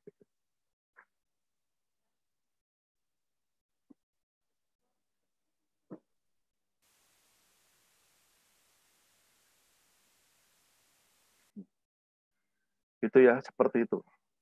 Jadi nanti uh, yang warnanya hijau itu adalah distinguish, yang uh, merah itu differentiate. Jadi di sini bisa kelihatan ya, uh, kalau uh, dengan kata distinguish itu objeknya apa gitu ya, objek dari uh, verb distinguish itu. Sementara kalau differentiate itu objeknya apa? Ini. Lalu subjeknya apa? Nah, seperti ini. ini. Seperti ini. Ini bisa kita lihat. Nah, uh, lalu saya mau membedakan lagi misalnya antara categorize gitu ya dan classify. Misalnya. Ini juga bisa. Dan perbedaan di sini muncul itu karena uh, korpus yang ada di dalamnya yang jumlahnya jutaan itu. Ya ini di sini bisa kelihatan bagaimana uh, categorize itu uh, apa namanya uh, perilakunya bagaimana ya. Apa yang jadi modifiernya itu seperti apa ya. Adverbnya gitu ya. Bisa uh, kelihatan di situ. Dan seterusnya. Jadi uh, dengan uh, corpus tools atau corpus uh, apa namanya manager yang seperti ini ya, eh, kamus modern itu sangat dimudahkan. Bahkan eh, kita bisa uh, mencari dengan apa namanya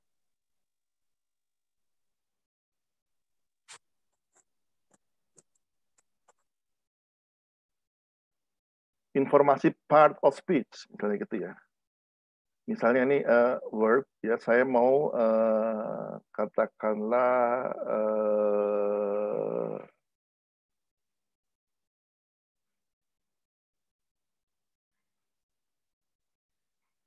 noun ya. Saya mau cari yang noun lalu wordnya seal gitu ya. Karena seal itu bisa noun bisa verb Nah, saya mau cari yang muncul sebagai noun. Nah, ini uh, ini adalah seal yang noun. Lalu uh, coba saya mau pakai seal yang verb.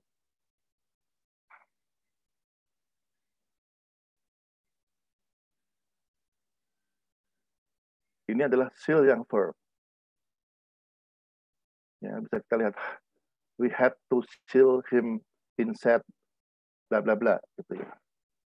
Jadi uh, sangat dimudahkan ya dengan adanya uh, apa namanya uh, corpus tools atau uh, corpus manager seperti ini. Oke, okay. hmm, kembali ke tayangan saya tadi ya.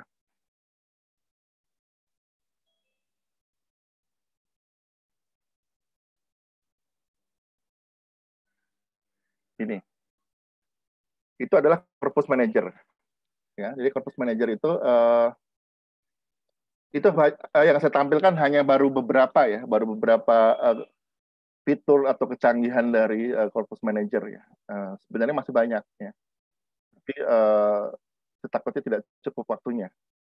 Ya, uh, nah, tadi saya berikan contoh uh, Sketch Engine dan Ancon. Ya, sementara masih ada banyak lagi uh, Corpus Manager ya. Uh, ada sekitar 89 ya. Saya tidak menguasai semua, tapi uh, sekitar 20-30 sih uh, insya Allah mungkin saya tahu atau bisa ya menggunakannya.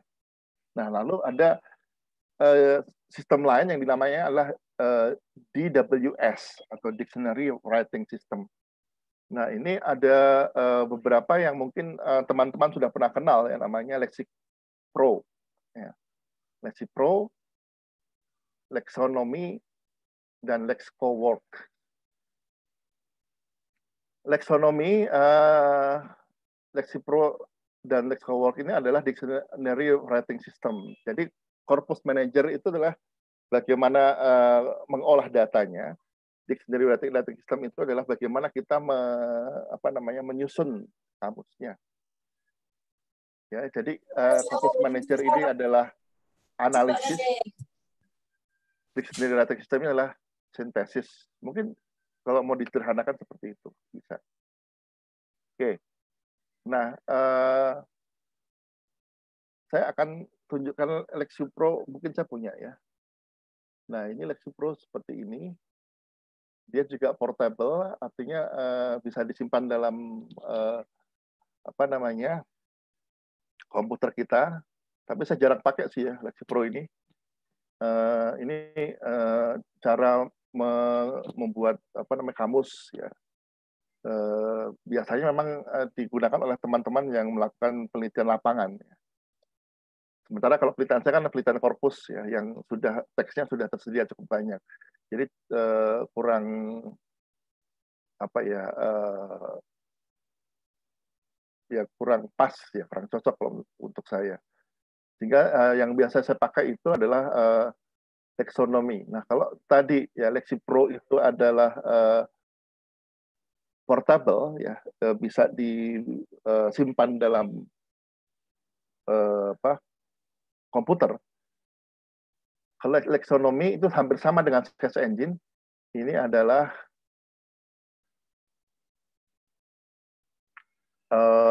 berbasis web Jadi ada beberapa project yang bisa kita buat gitu ya di sini. Misalnya kamus bahasa Jawa gitu ya ini. Saya uh,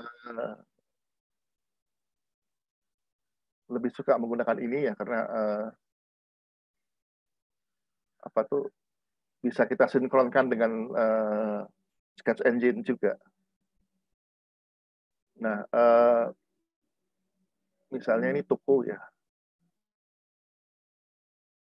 Toko uh, itu apa gitu ya. Nah, uh, lungo itu bagaimana nanti kita bisa lihat juga ya. Nah, uh, bagaimana cara me membuat uh, entry baru ya kita tinggal klik new saja sini ya. Kalau kita uh, apa namanya familiar dengan coding, kita bisa gunakan uh, visualisasi codingnya seperti ini. Ya. Tapi kalau tidak terbiasa, kita bisa pakai yang uh, visualisasi yang biasa seperti ini. Jadi uh, tadi uh, sudah uh, lungo, misalnya sekarang saya mau bikin takon, gitu ya. Takon, kemudian uh, takon ini saya uh,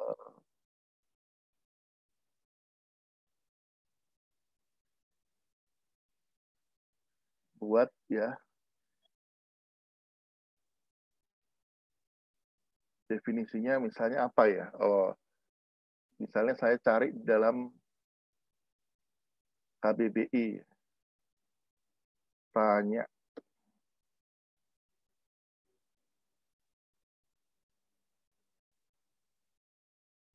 ini saya uh, pindahkan saja. Oke. Lalu eh,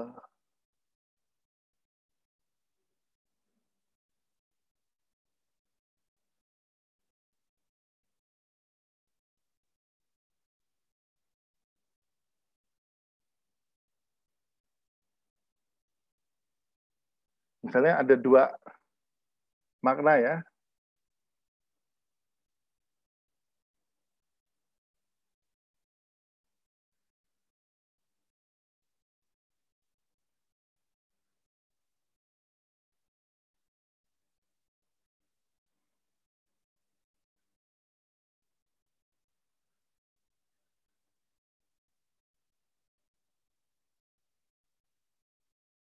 Nah, uh,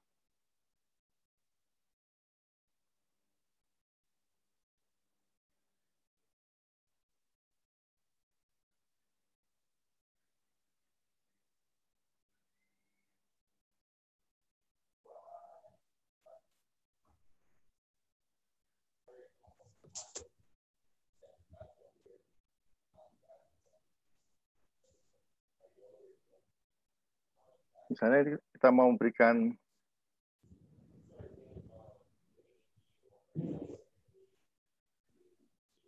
verb gitu ya. Misalnya ya. Lalu eh, bagaimana eh, apa namanya kita tambahkan contohnya gitu ya. Eh, untuk contohnya misalnya kita bisa eh, pinjam menggunakan bahasa Jawa, korpus bahasa Jawa yang saya punya. Ya. Uh, saya mau pakai contoh yang betul-betul real. Nah ini, jadi saya ambil ayat salah satu dari sini gitu ya. Mungkin uh, mana di antara contoh ini yang paling pas gitu ya. Mungkin ini aja deh, aku melingok banjur takon gitu ya. Ini saya ambil lalu uh,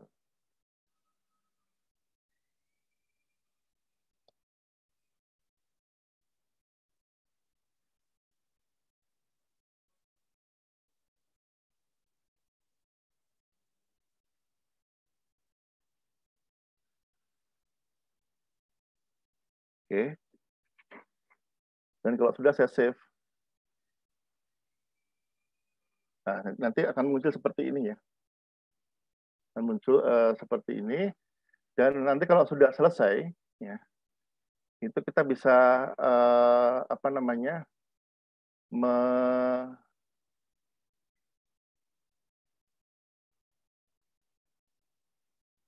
ekspornya ya uh, sebagai apa namanya uh, kamus elektronik atau kamus print ya cetak itu bisa kita atur uh, di sini kira-kira begitu. Oke ini kamus Jawa yang coba saya buat dengan leksonomi ya seperti itu ya lalu tadi di dalam presentasi saya tadi ada satu lagi yaitu Lex, Lexcoworks. Nah, kalau Lexcoworks ini hampir sama ya dengan Lex uh, ekonomi, Lexonomi ya, hampir sama seperti ini, tapi ini uh, buatan saya sendiri ya, saya dan uh, Ara Dina Karamani ya. Uh, jadi pada waktu conference di Leiden di ILEX tadi ya yang saya bilangkan apa yang saya katakan sebagai top conference untuk uh, itu saya dan Ara me, menampilkan uh, seperti leksonomi ya uh, tapi uh, kami buat sendiri gitu ya. Uh, hampir mirip sih ya cuma uh, kalau leksonomi tadi uh, desainnya seperti itu kalau ini uh, desainnya uh, seperti ini. Jadi kalau mau me, Oh, sebentar ya. Eh, kenapa saya tidak dapat ini? Saya harus login dulu berarti, ya. Misalnya ini, ya, uh, ini saya masukkan ya. Jadi nanti saya akan bisa uh, menggunakan file ya, file yang saya buat uh, untuk tiap-tiap entry, lalu saya upload di situ bisa langsung ya. Atau saya isi satu-satu ya uh, misalnya uh, temanya apa misalnya ya? Misalnya uh, duduk gitu ya.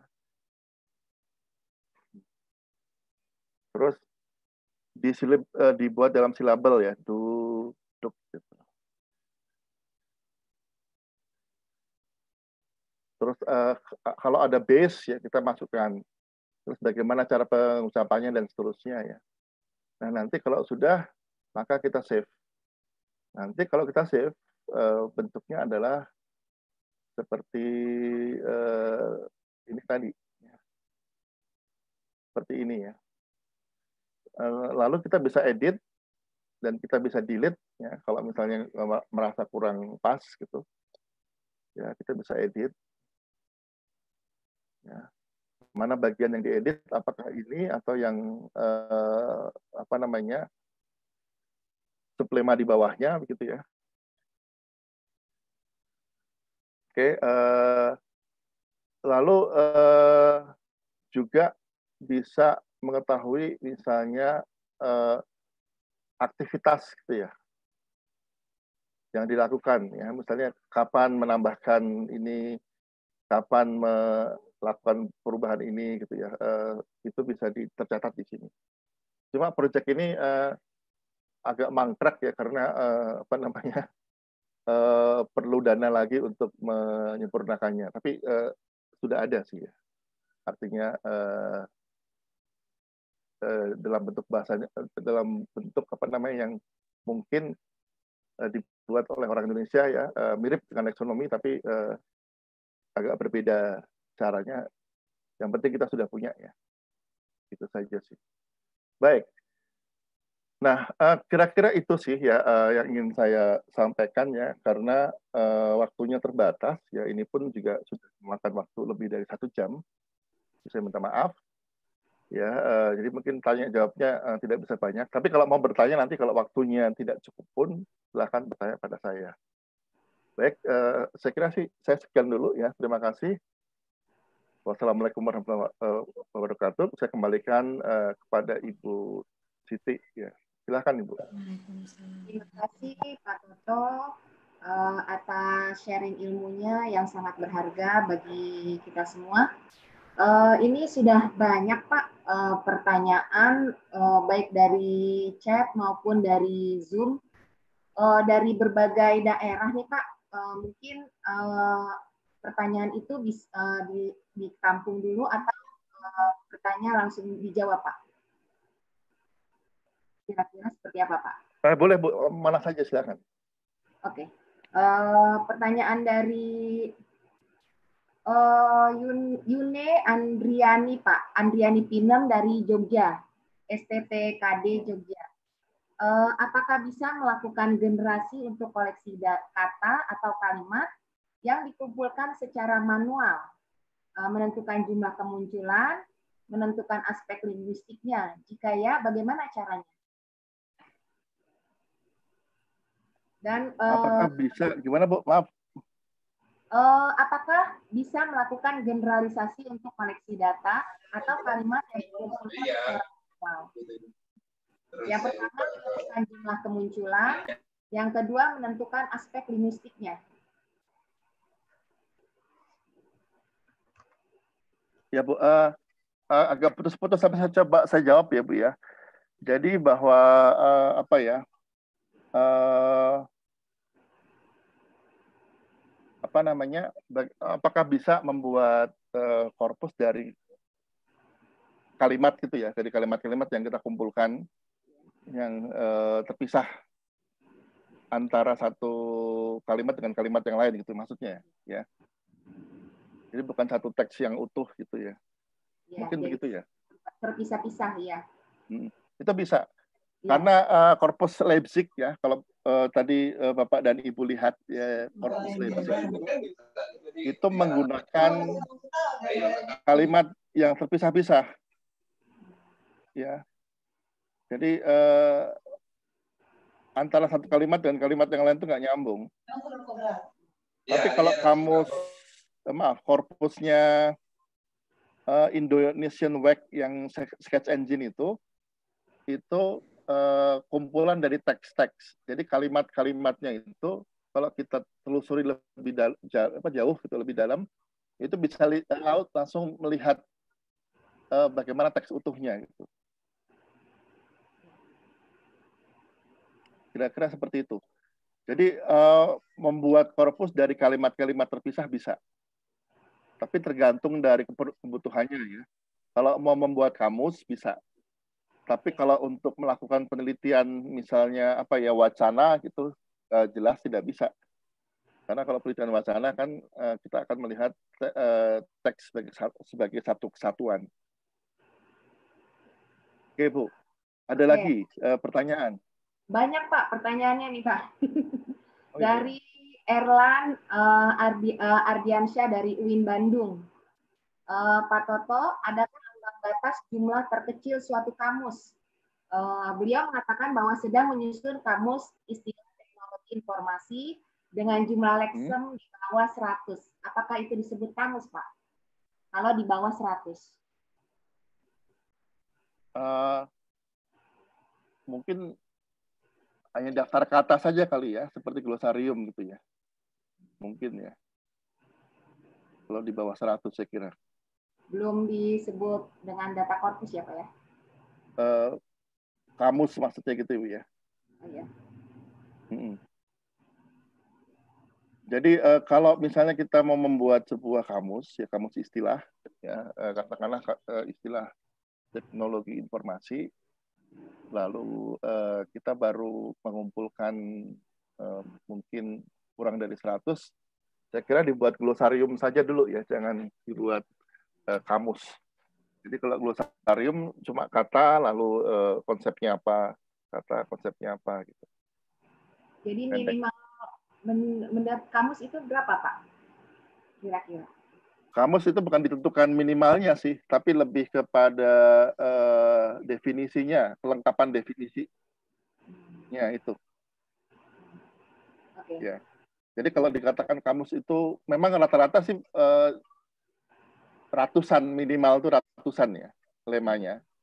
Tapi eh, masalahnya bukan pada jumlah gitu ya, lebih pada definisinya itu dia lebih lengkap. Baik, ini dari pertanyaan dari YouTube Pak, dari Salahuddin uh, Unair, uh, bagaimana perkembangan pembuatan uh, Korpus Nasional Indonesia?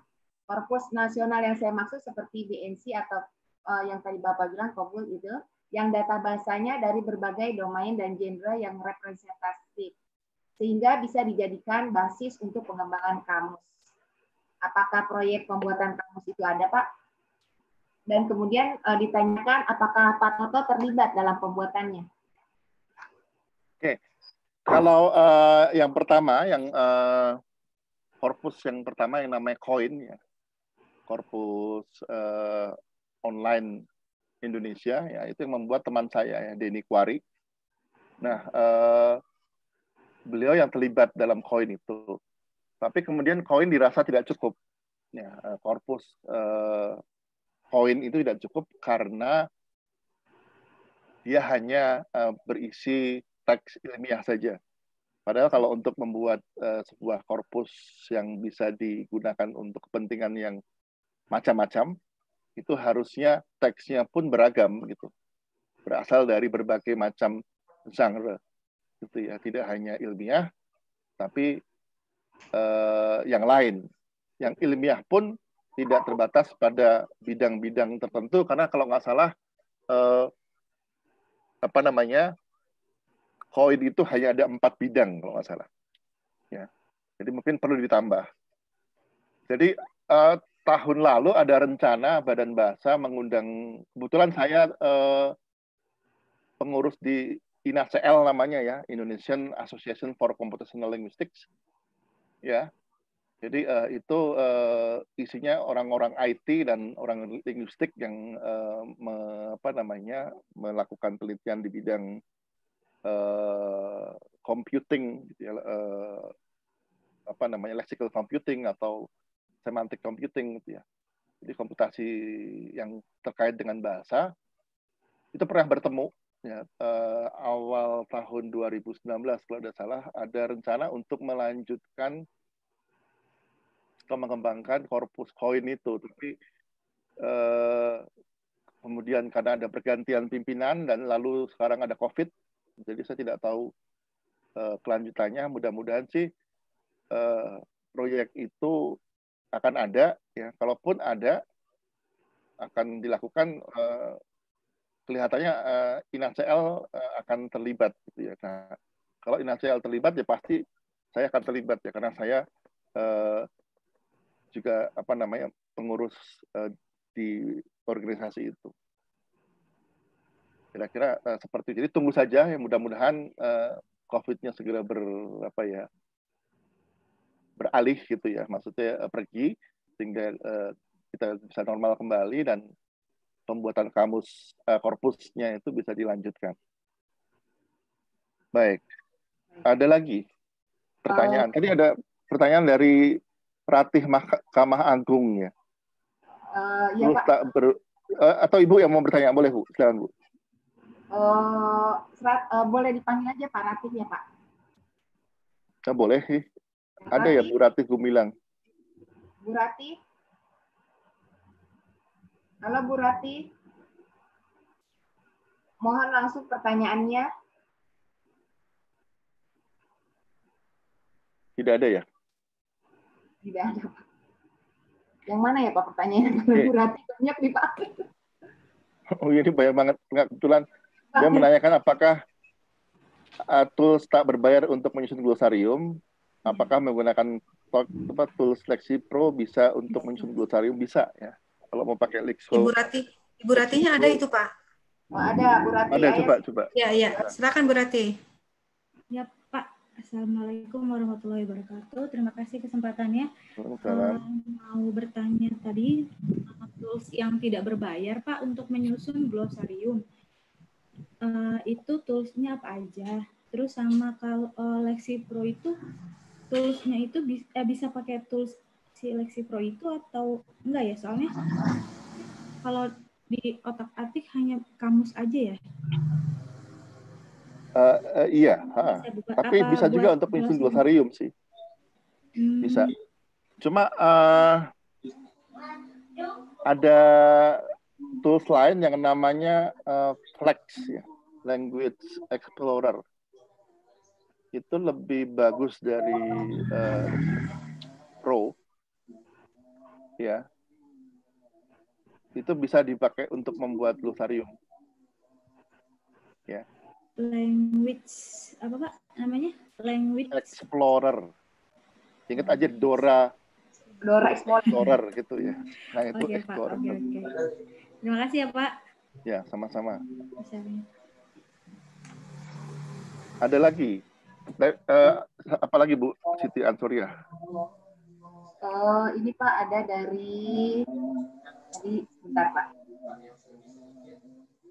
Ada dari em, yang mengatakan bahwa eh, dari Muhammad Arifin menurut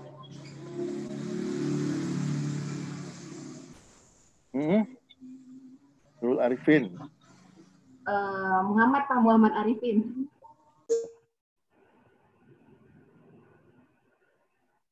Ada Pak Muhammad Arifin? Baik, saya Iya, Bu. aja, Pak. Oh iya, Ya, ada. Bu, masuk Bu. Silakan. Eh, Iya Bu, Eh, sebentar ya, saya cek tadi pertanyaannya di atas.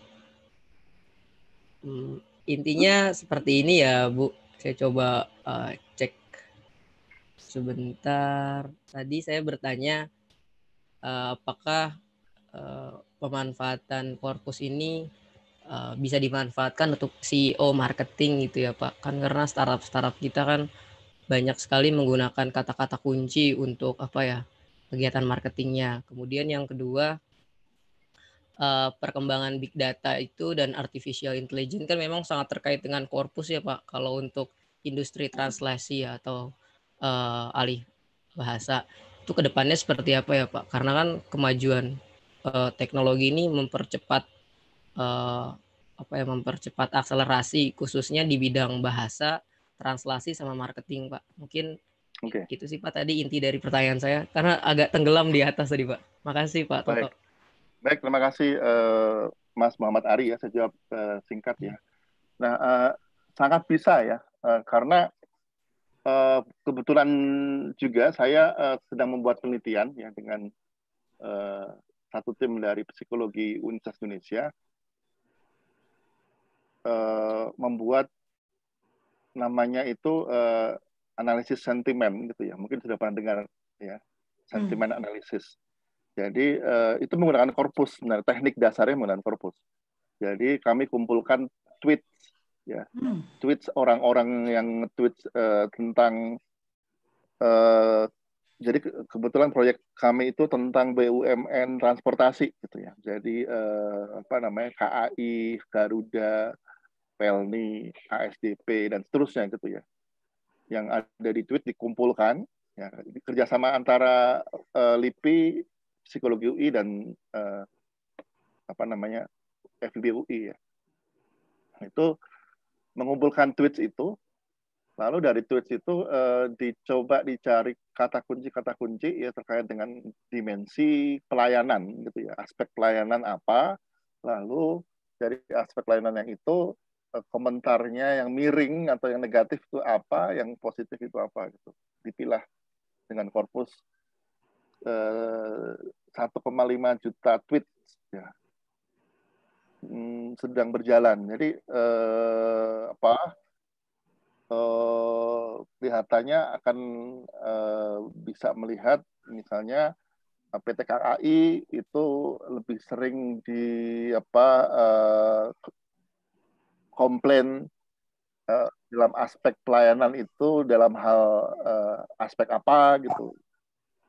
Ya kalau Garuda di di mana nanti bisa kelihatan eh, dengan eh, apa namanya kajian yang berbasis korpus sebenarnya ya, yang disebut dengan analisis sentimen itu.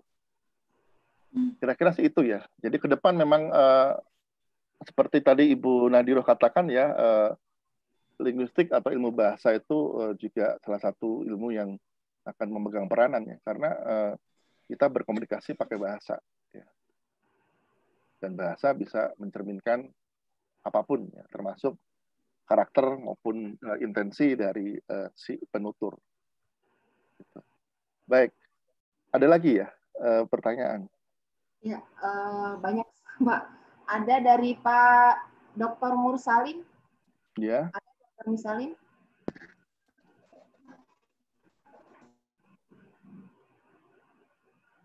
Kalau tidak ada, saya akan bacakan. Uh, aplikasi atau software apa yang digunakan untuk digitalisasi korpus, Pak? Pertanyaan dari Mursalin. Oke, okay, uh, yang dimaksud dengan digitalisasi korpus itu mengubah teks yang tadinya misalnya dalam buku cetak gitu ya, kemudian menjadi sesuatu yang bisa diolah dengan alat korpus gitu mungkin ya maksudnya. Kalau itu mungkin saya kira belum ada tools yang uh, langsung uh, mengubah begitu ya. Jadi uh, ada beberapa cara ya. Salah satu yang uh, biasanya kami lakukan adalah melakukan scan, ya, di scanning uh, apa namanya teksnya itu. Cuma uh, tentunya apa ya uh, beli scan atau uh, harus ada scan ya scanner yang mumpuni gitu ya kalau orang Jawa bilang ya yang punya uh, apa namanya fitur-fitur uh, atau teknologi uh, tinggi. Nah uh, kalau scanner-scanner biasa yang campur sama printer itu nggak bisa dipakai ya karena uh, ngerjainnya pasti capek. Uh, setiap kali satu lembar kita uh, scan, buka lagi satu lembar kita scan gitu ya itu uh, kalau untuk kerjaan korpus akan sangat memakan waktu ada scanner yang uh, bisa kita tinggal ya kita asal bentuknya itu uh, maksudnya buku teksnya tadi ya kita sudah fotokopi misalnya.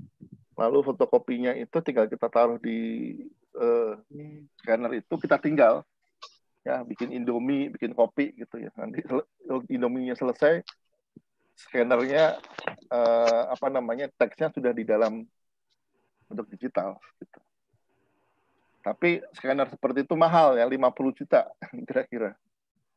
uh, apa namanya uh, yang mutakhir ya, kira-kira.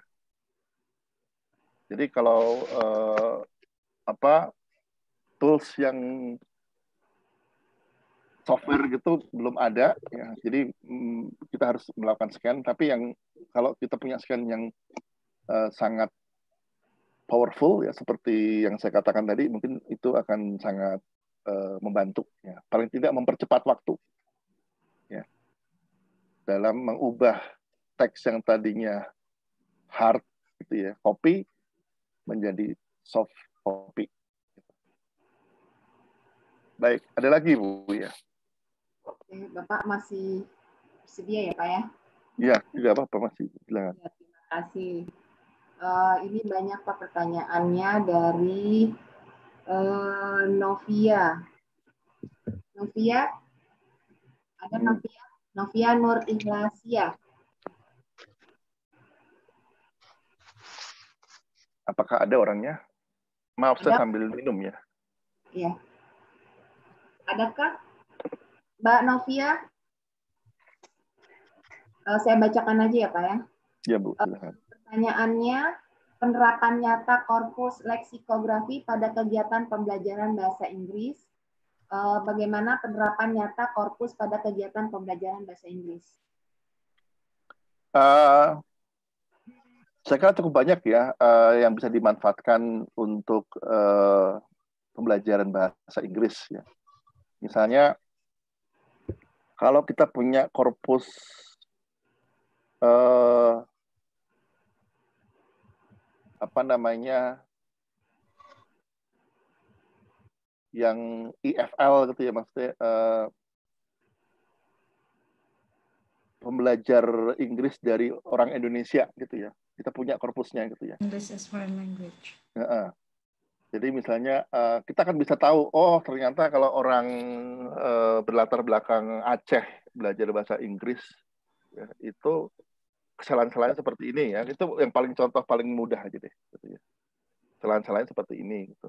Terus uh, kita bisa tahu uh, kosakata yang paling sering dipakai gitu ya uh, oleh anak-anak Indonesia untuk jenjang misalnya apa namanya SD kelas 4 sampai 6 kalau pakai bahasa Inggris itu apa saja. Sehingga kita akan bisa tahu misalnya kosakata kosakata yang mungkin perlu kita uh, ajarkan atau perlu kita uh, muat atau perlu kita masukkan ke dalam buku-buku uh, ajar berbahasa Inggris gitu. Ya. Nah uh, kalau uh, apa namanya di Amerika atau di uh, Inggris itu mereka sudah punya ya sudah punya um, daftar kosakata yang yang harus dikuasai gitu ya. Uh, untuk uh, apa namanya bahasa Inggris misalnya anak uh, elementary school untuk grade uh, 5 misalnya gitu ya itu uh, vocabnya apa saja gitu. Itu tidak dia punya gitu ya. nah mm, kita mungkin tidak bisa pakai ya karena itu latar belakang budayanya beda sama kita. Jadi kita harus punya sendiri barangkali gitu. Untuk IFL itu Inggris ya. Apalagi bahasa Indonesia. Nah kita nggak punya sama sekali. Pengajaran bahasa Indonesia butuh ya korpus eh, apa namanya pelajar-pelajar Indonesia ketika mereka menggunakan bahasa Indonesia. Nah itu bisa diperoleh dari mana? Misalnya dari karangan-karangan anak-anak itu, misalnya. atau ketika mereka sedang presentasi, ya, kita rekam, kita transkripsi. Kalau misalnya kita memanfaatkan eh, apa ya? Dalam pikiran saya sih ya, sekarang saya punya, pernah punya eh, impian yang membuat korpus eh, learner tapi bahasa Indonesia.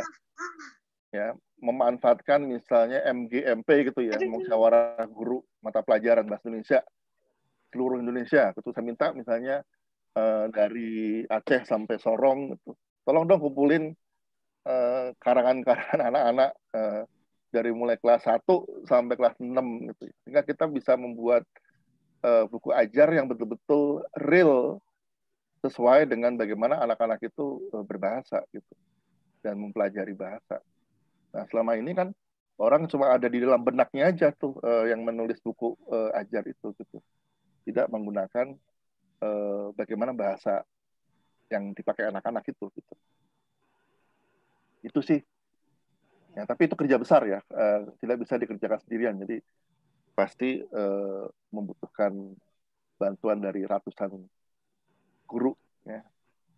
Tapi harus ada saya kira ya karena uh, dengan begitu uh, kita bisa menentukan misalnya buku ini nih cocok nih untuk dibaca oleh anak 5 SD gitu ya. Buku ini cocok untuk anak kelas 3 SD. Sekarang kita nggak punya standar itu.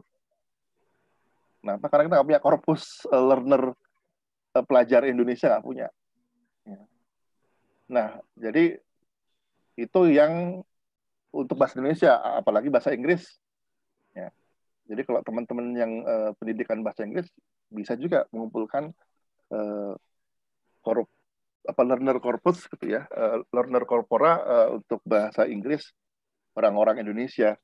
Karena orang-orang Indonesia ini juga cukup unik karena multilingual ya. Jadi uh, kita akan bisa lihat uh, melihat variabel-variabel uh, kota ya, kota desa dan juga variabel uh, apa namanya ethnic group ya. Mungkin akan sangat uh, kompleks sehingga uh, apa kalau itu terwujud saya kira salah satu masalah pendidikan kita paling tidak bisa teratasi lah. Oke, baik. Ada lagi ya kira-kira?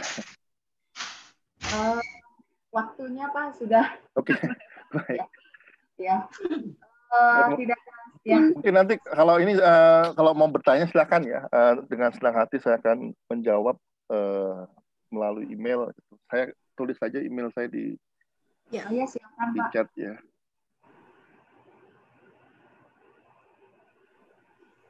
Oke Bu, silakan Bu. Saya uh, tulis saja. Ya. Uh, tidak terasa waktu telah usai. Terima kasih pada narasumber Bapak Toto Suhardianto uh, saya akan menyimpulkan uh, bahwa korpus merupakan kumpulan teks baik lisan maupun tulisan yang tersimpan dalam komputer. Simpulan kumpulan teks baik lisan maupun lisan yang ada di media cetak atau elektronik dan dapat dijadikan sumber data korpus uh, sebagai sumber data yang bisa diteliti. Korpus sangat bermanfaat dalam dunia kebahasaan, baik dalam penelitian atau bidang-bidang yang lain. Eh, bisa seperti leksikografi, tata bahasa, sosiolinguistik, terjemahan, dan lain-lain. Eh, terima kasih kepada narasumber, eh, para peserta yang telah bertanya, dan Bapak Ibu semua atas partisipasinya.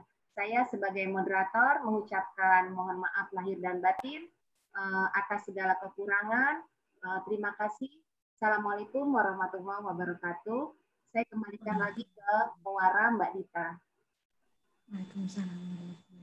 Ya, baik. Terima kasih pada Ibu Moderator, Ibu Dr. Siti Ansoriah, MPD, dan terima kasih juga pada Bapak narasumber, Bapak Toto Suhardianto, PhD, atas sharing ilmunya yang sangat bermanfaat dan sangat luar biasa tentunya. Hmm. Kami juga mengucapkan terima kasih kepada Bapak Ibu peserta yang masih tergabung, serta Bapak Ibu Guru Besar, Direktur, dan jajaran lainnya yang masih membersamai kami hingga acara selesai. Untuk link presensi atau survei telah kami bagikan pada kolom chat Zoom. Silakan Bapak Ibu untuk mengisinya sesuai abjad. Apabila Bapak Ibu memiliki gelar depan, Bapak Ibu dapat menyesuaikan abjad tersebut sesuai gelar depan yang dimiliki pada saat mengisi form presensi atau survei. Dan mohon Bapak Ibu untuk tidak membagikan link tersebut kepada peserta di luar seminar. Dan bagi peserta yang sudah mendaftar dan mengikuti live via YouTube, kami juga sudah menyediakan link presensi khusus. Link tersebut hanya akan aktif selama dua jam setelah dibagikan. Untuk materi akan kami bagikan melalui kanal Telegram dan WhatsApp Group.